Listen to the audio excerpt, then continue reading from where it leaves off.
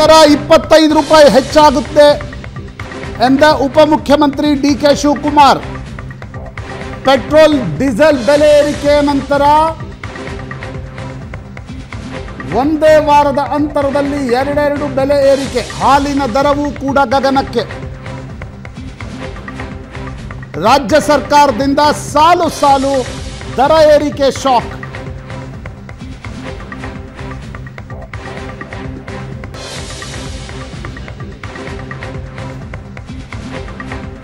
ಪ್ರತಿ ಹಾಲಿನ ಪಾಕೆಟ್ಗೆ ಎರಡು ರೂಪಾಯಿ ದರ ಹೆಚ್ಚಿಸಿದ ರಾಜ್ಯ ಸರ್ಕಾರ. ಪಂಚ ಗ್ಯಾರಂಟಿಗಳ ವೆಚ್ಚ ಸರಿದೂಗಿಸಲು ಬೆಲೆ ಏರಿಕೆಯ ನಿರ್ಧಾರ. ಪೆಟ್ರೋಲ್, ಡೀಸೆಲ್ ಆಯಿತು, ಹಾಲಿನ ದರ ಏರಿಕೆ ಆಯಿತು. ನೀರಿನ ದರವನ್ನು ಕೂಡ ಏರಿಸಿದ ರಾಜ್ಯ ಸರ್ಕಾರ.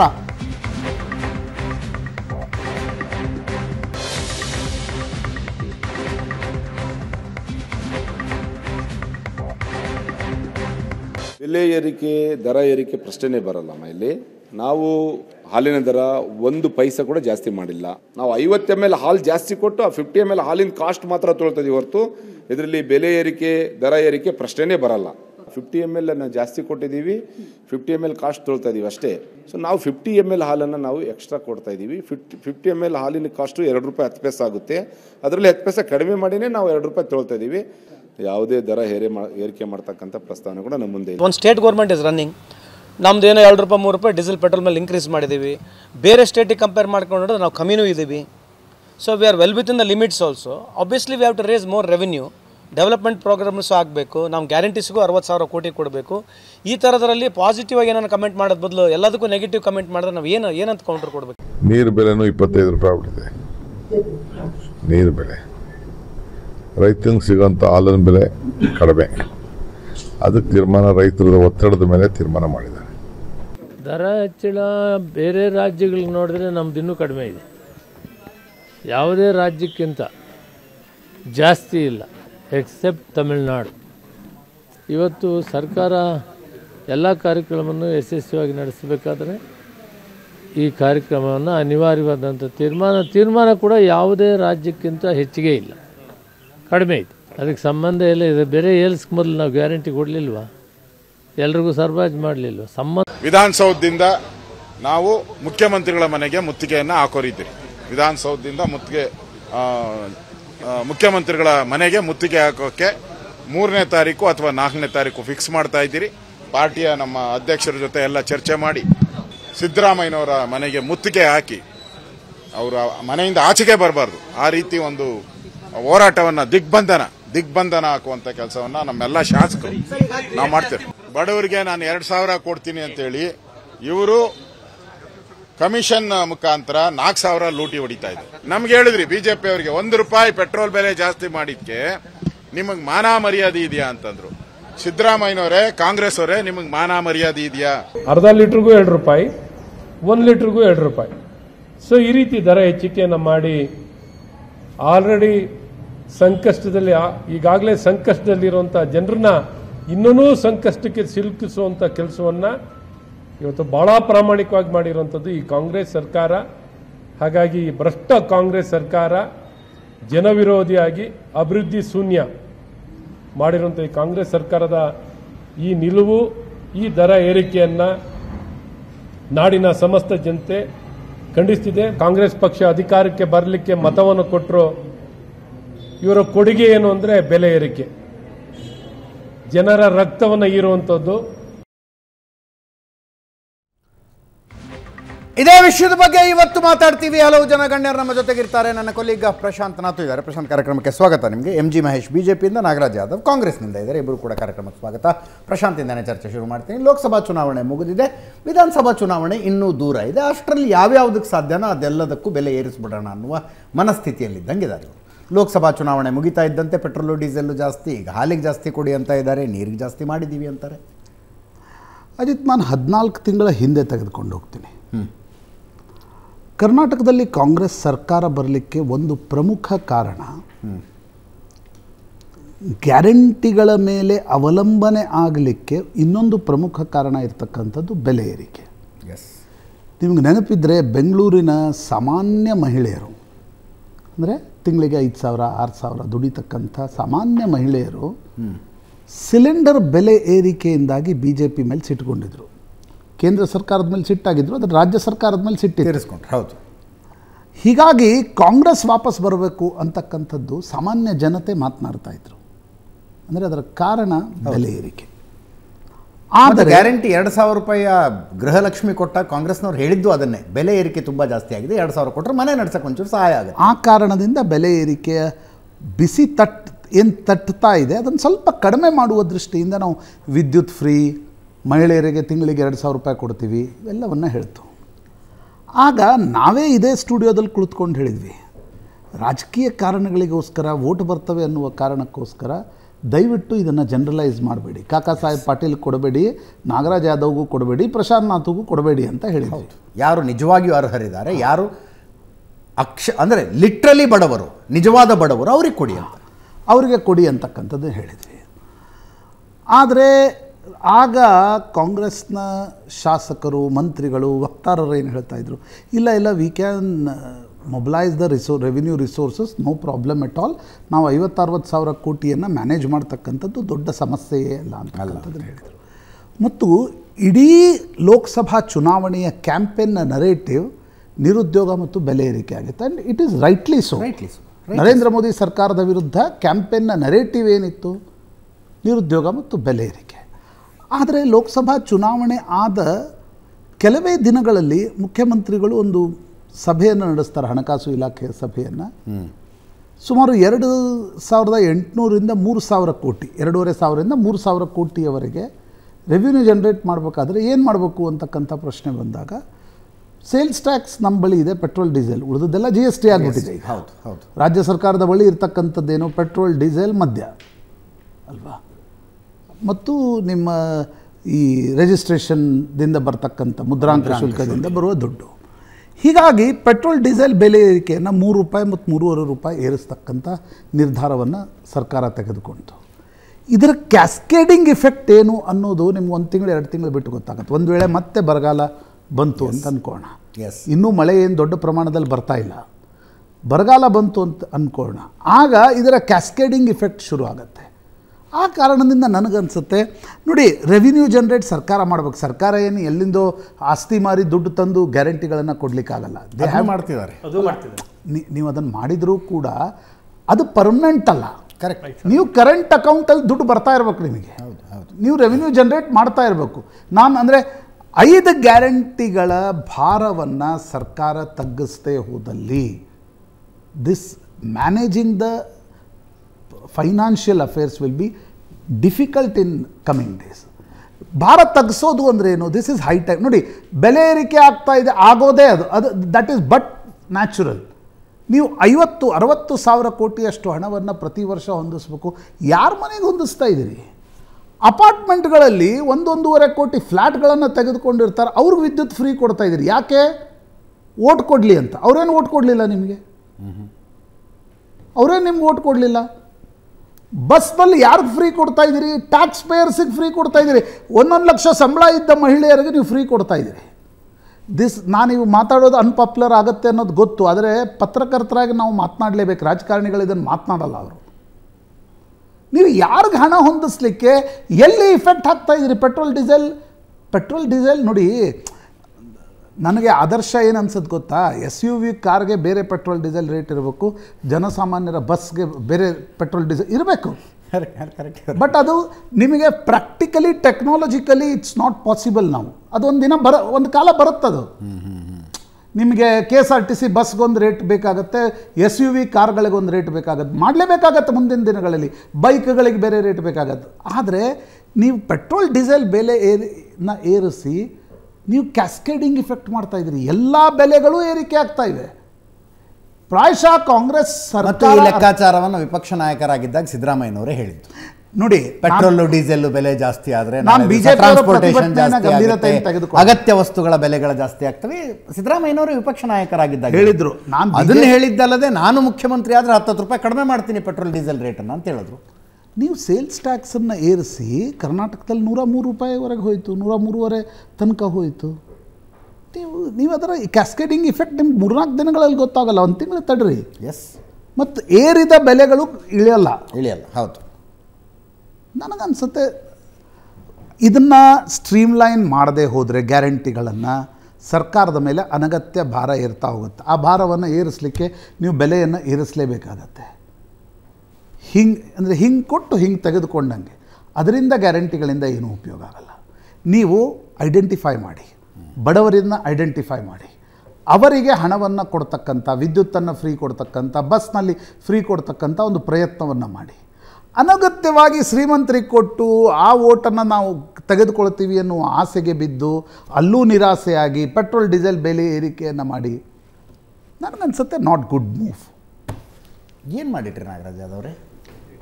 ಎಷ್ಟು ಪೇಷೆಂಟ್ಸ ಕೇಳಿದ್ದೀನಿ ಅದೇ ರೀತಿ patient hearing I expect from you both of you ನೀವು ಬಹಳ ಚೆನ್ನಾಗಿ ಮಾತಾಡಿ ವಿಶ್ಲೇಷಣೆ ಮಾಡಿದ್ದು ಜನಸಾಮಾನ್ಯಗೆ ಯಾವ ರೀತಿ ಹೊರಗೆ ಹೊರೆ ಆಗ್ತಾ ಇದೆ ಅಂತ ವಿಚಾರಗಳನ್ನು. ಅದ್ರ ಕುರಿತು ನಾನು ರಾಜಕೀಯ ಮೀರಿ ನಿಮ್ಗೆ ಹೇಳಬೇಕು ಅನ್ನೋದಾದರೆ ಗ್ಯಾರಂಟಿಗಳು ಖಂಡಿತವಾಗ್ಲೂ ವೋಟ್ ಗೇನ್ ಮಾಡಲಿಕ್ಕೋಸ್ಕರ ಅಲ್ಲ ಅನ್ನೋದನ್ನ ಸ್ಪಷ್ಟವಾಗಿ ಹೇಳ್ತೀನಿ. ನಮ್ಮ ಸರ್ಕಾರ ಐದು ವರ್ಷಗಳ ಕಾಲ ಯಾವುದೇ ಸಂದರ್ಭದಲ್ಲಿ ಕೂಡ ಅದನ್ನು ವಾಪಸ್ ತಗೊಳ್ಳೋ ಪ್ರಶ್ನೆನೇ ಇಲ್ಲ. It is not given because of election agenda ನೀವೇನಂತ ತಿಳ್ಕೊಂಡಿದ್ರೆ ಅದು ತಪ್ಪು ಅಂತಕ್ಕಂಥ ಮಾಹಿತಿ ಹೇಳ್ತಾ ಇದ್ದೀವಿ. ಯಾವ ಕಾಲ ನಾನು ಅಲ್ಲ ನಾನು ಪಿ ಸಿ ಆರ್ ಇರೋರ್ಗೆ ಹೇಳ್ತೀನಿ. ಈ ಚುನಾವಣೆಗಿಂತ ಮುಂಚೆ ಚುನಾವಣೆಯಲ್ಲಿ ಕಡಿಮೆ ಸ್ಥಾನಗಳ ಬಂದ್ರೆ ಗ್ಯಾರಂಟಿ ನಿಲ್ಲಿಸ್ತೀವಿ ಅಂತ ಕಾಂಗ್ರೆಸ್ಸಿನ ಯಾವ್ಯಾವ ಶಾಸಕರು ಹೇಳಿದ್ರು ಒಂಚೂರ ಆ ಬೈಟ್ಗಳನ್ನು ತೆಗಿ ಫೈನ್ ಫೈನ್ ನಾನೇ ಹೇಳ್ತೀನಿ ರಿಸಲ್ಟ್ ಬಂದ ಮೇಲೆ ಗ್ಯಾರಂಟಿಗಳ ಒಂದು ನಿಮಿಷ ನಿಮಿಷ. ನಾನು ನಾನೇ ಹೇಳ್ತೀನಿ. ನಾನು ಸ್ಟಾಫಿಗೆ ಹೇಳ್ತಾ ಇದ್ದೀನಿ. ಮಾತಾಡಿದ ಬಗ್ಗೆ ನಮ್ಮ. ಹುಡುಗರಿಗೆ ಹೇಳ್ತಾ ಇದ್ದೀನಿ.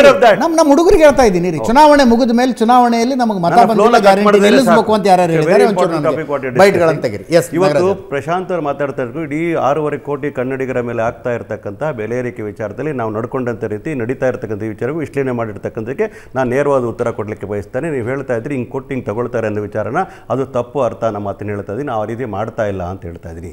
ಒಂದು ಕಡೆ ಐವತ್ತಾರು ಸಾವಿರ ಕೋಟಿ ರೂಪಾಯಿಗಳನ್ನ ನಮ್ಮ ಬಜೆಟಲ್ಲಿ ಮೀಸಲಿತ್ತು ಇವತ್ತು ಎರಡು ಸಾವಿರದಿಂದ ನಾವು ಜಾ ಗ್ಯಾರಂಟಿಗಳನ್ನ ಪೂರೈಸಲಿಕ್ಕೆ ಮಾಡಲಿಕ್ಕೆ ಸಾಧ್ಯ ಆಗೋದಿಲ್ಲ. ಎರಡೂವರೆ ಸಾವಿರದ ಮೂರು ಕೋಟಿ, ಮೂರು ಸಾವಿರ ಕೋಟಿ ರೂಪಾಯಿ ಇನ್ಕ್ರೀಸ್ ಆಗ್ಬೋದು ಅಂತೇಳಿ ಒಂದು ಕಡೆ ಡೆವಲಪ್ಮೆಂಟಿಗೆ ನಾವು ಮೀಸಲಾಗಿ ಬಜೆಟ್ನ ತೆಗೆದು ನೋಡಬೇಕಾಗ್ತದೆ. ಬಜೆಟ್ ಭಾಷಣ ಕೇಳಬೇಕಾಗ್ತದೆ ಸಿದ್ದರಾಮಯ್ಯ ನೋಡೋದು ಒಂದು ಲಕ್ಷದ ಇಪ್ಪತ್ತು ಸಾವಿರ ಕೋಟಿಗಳನ್ನು ಅಭಿವೃದ್ಧಿಗೋಸ್ಕರ ಮೀಸಲಿಟ್ಟಿದ್ದೀವಿ ಅಂತಂದರೆ ಈ ಸರ್ಕಾರ ಏನು ದಿವಾಳಿ ಆಗಿತ್ತಾ? ಒಂದು ಲಕ್ಷ ಇಪ್ಪತ್ತು ಸಾವಿರ ಕೋಟಿ. ಯಾವ ಬಜೆಟ್ ನಮ್ಮ ಬಜೆಟ್ ಅಲ್ಲಿ ಮೊನ್ನೆ ಪ್ರೆಸೆಂಟ್ ಮಾಡಿ ಒಂದ್ ಲಕ್ಷ ಇಪ್ಪತ್ತು ಸಾವಿರ ಔಟ್ ಆಫ್ ತ್ರೀ ಮೂರು ಲಕ್ಷದ ಎಪ್ಪತ್ತು ಒಂದು ಹೇಳಿ ಹೇಳಿ. ಐವತ್ತೆರಡು ಸಾವಿರ ಕೋಟಿ ಗ್ಯಾರಂಟಿಗಳಿಗೆ ಇಟ್ಟಿರೋದು. ಐವತ್ತೆರಡು ಸಾವಿರ ಕೋಟಿ ಕ್ಯಾಪಿಟಲ್ ಎಕ್ಸ್ಪೆಂಡಿಚರ್ ಇಟ್ಟಿರೋದು. ನಾನು ಹೇಳಿ ನಾನು ಹೇಳಿದ್ಮೇಲೆ ನಾ- ನಾ- ಒಂದು ನಿಮಿಷ.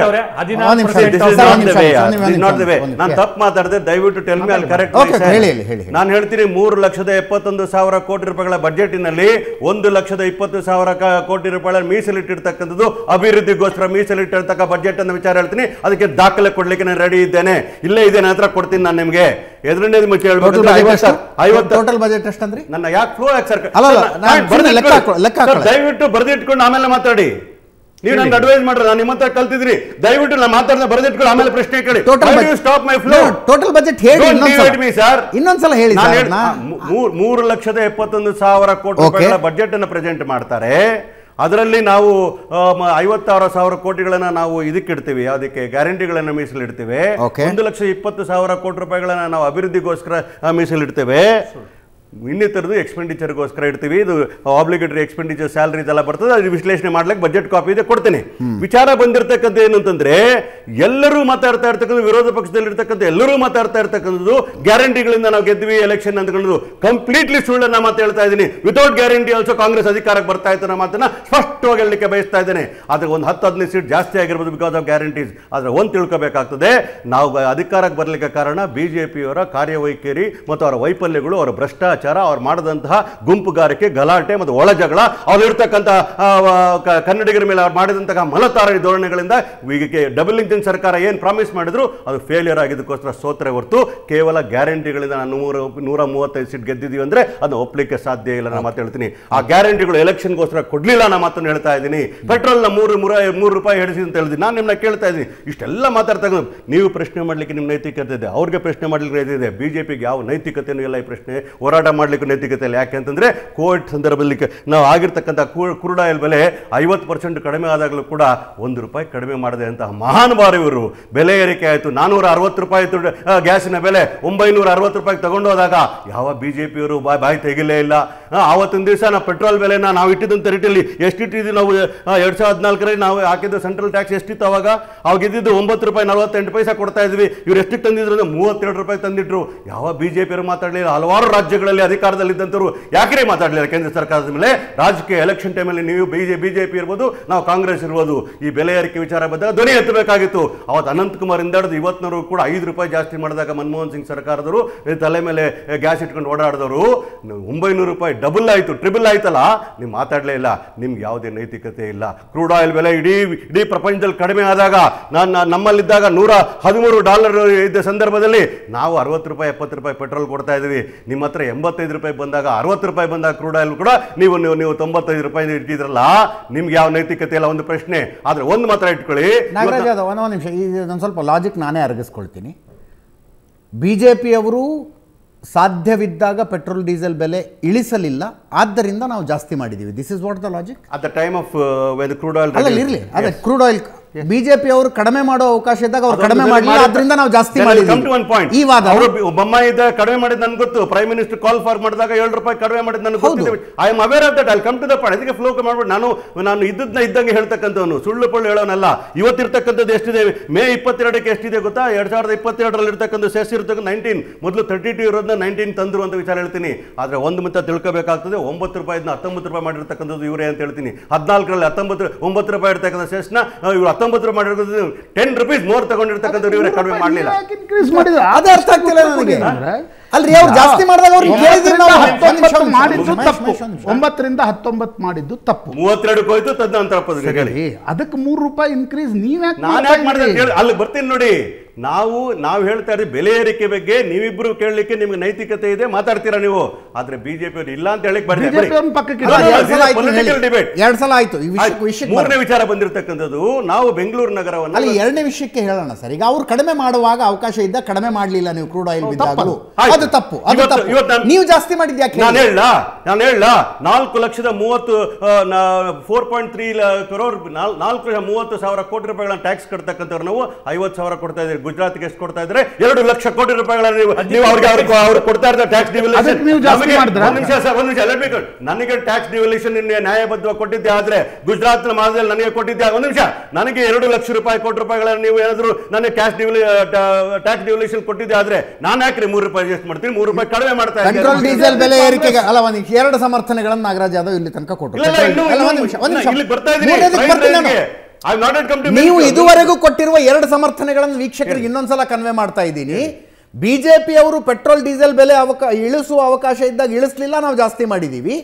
ಕೇಂದ್ರ ಸರ್ಕಾರ ನಮಗೆ ಬರಬೇಕಾದ ಹಣ ಕೊಡ್ತಿಲ್ಲ ಆದ್ರಿಂದ ನಾವು ರಾಜ್ಯ ಜನರಿಗೆ ಬರೆ ಆಗ್ತಾ ಇದೀವಿ number. Three number three continue number three ಈಗ ಏನಾಗ್ತಾ ಇತ್ತು ಅಂದರೆ ನಾಲ್ಕು ಲಕ್ಷ ಮೂವತ್ತು ಸಾವಿರ ಕೋಟಿ ರೂಪಾಯಿಗಳನ್ನ ನಾವು ಕೊಟ್ಟ ಸಂದರ್ಭದಲ್ಲಿ ವಾಟ್ ವಾರ್ ಯುವರ್ ನಮ್ಗೆ ಬರಬೇಕಾಗಿರ್ತಕ್ಕಂಥ ನೈತಿಕವಾಗಿ ಬರಬೇಕಾಗಿರ್ತಕ್ಕಂಥ ವಿಚಾರದಲ್ಲಿ ಅಲ್ಲಿ ವಿಫಲರಾದರು ವಿಶೇಷ ಅನುದಾನಗಳನ್ನ ಕೊಡೋದ್ರಲ್ಲಿ ವಿಫಲರಾದರು. ಬೆಂಗಳೂರು ನಗರಕ್ಕೆ ಫಾರ್ ಎಕ್ಸಾಂಪಲ್ ಹೇಳ್ತೀನಿ. ಬೆಂಗಳೂರು ನಗರ ಪೆರಿಫಲ್ ರೋಡ್ಗೆ ಮೂರು ಸಾವಿರ ಕೋಟಿ ರೂಪಾಯಿ ಕೊಡಬೇಕಾಯಿತು. ಬೆಂಗಳೂರು ಬೆಂಗಳೂರು ಅಭಿವೃದ್ಧಿ ಆಗಬೇಕಾಯಿತು. ಮೂರು ಸಾವಿರ ಕೋಟಿನ ಎಲ್ಲಿಂದ ತರಲಿ ಪೆರಿಫಲ್ ರೋಡ್ ಮಾಡ್ಲಿಕ್ಕೆ ಇವತ್ತಿನ ದಿವಸ?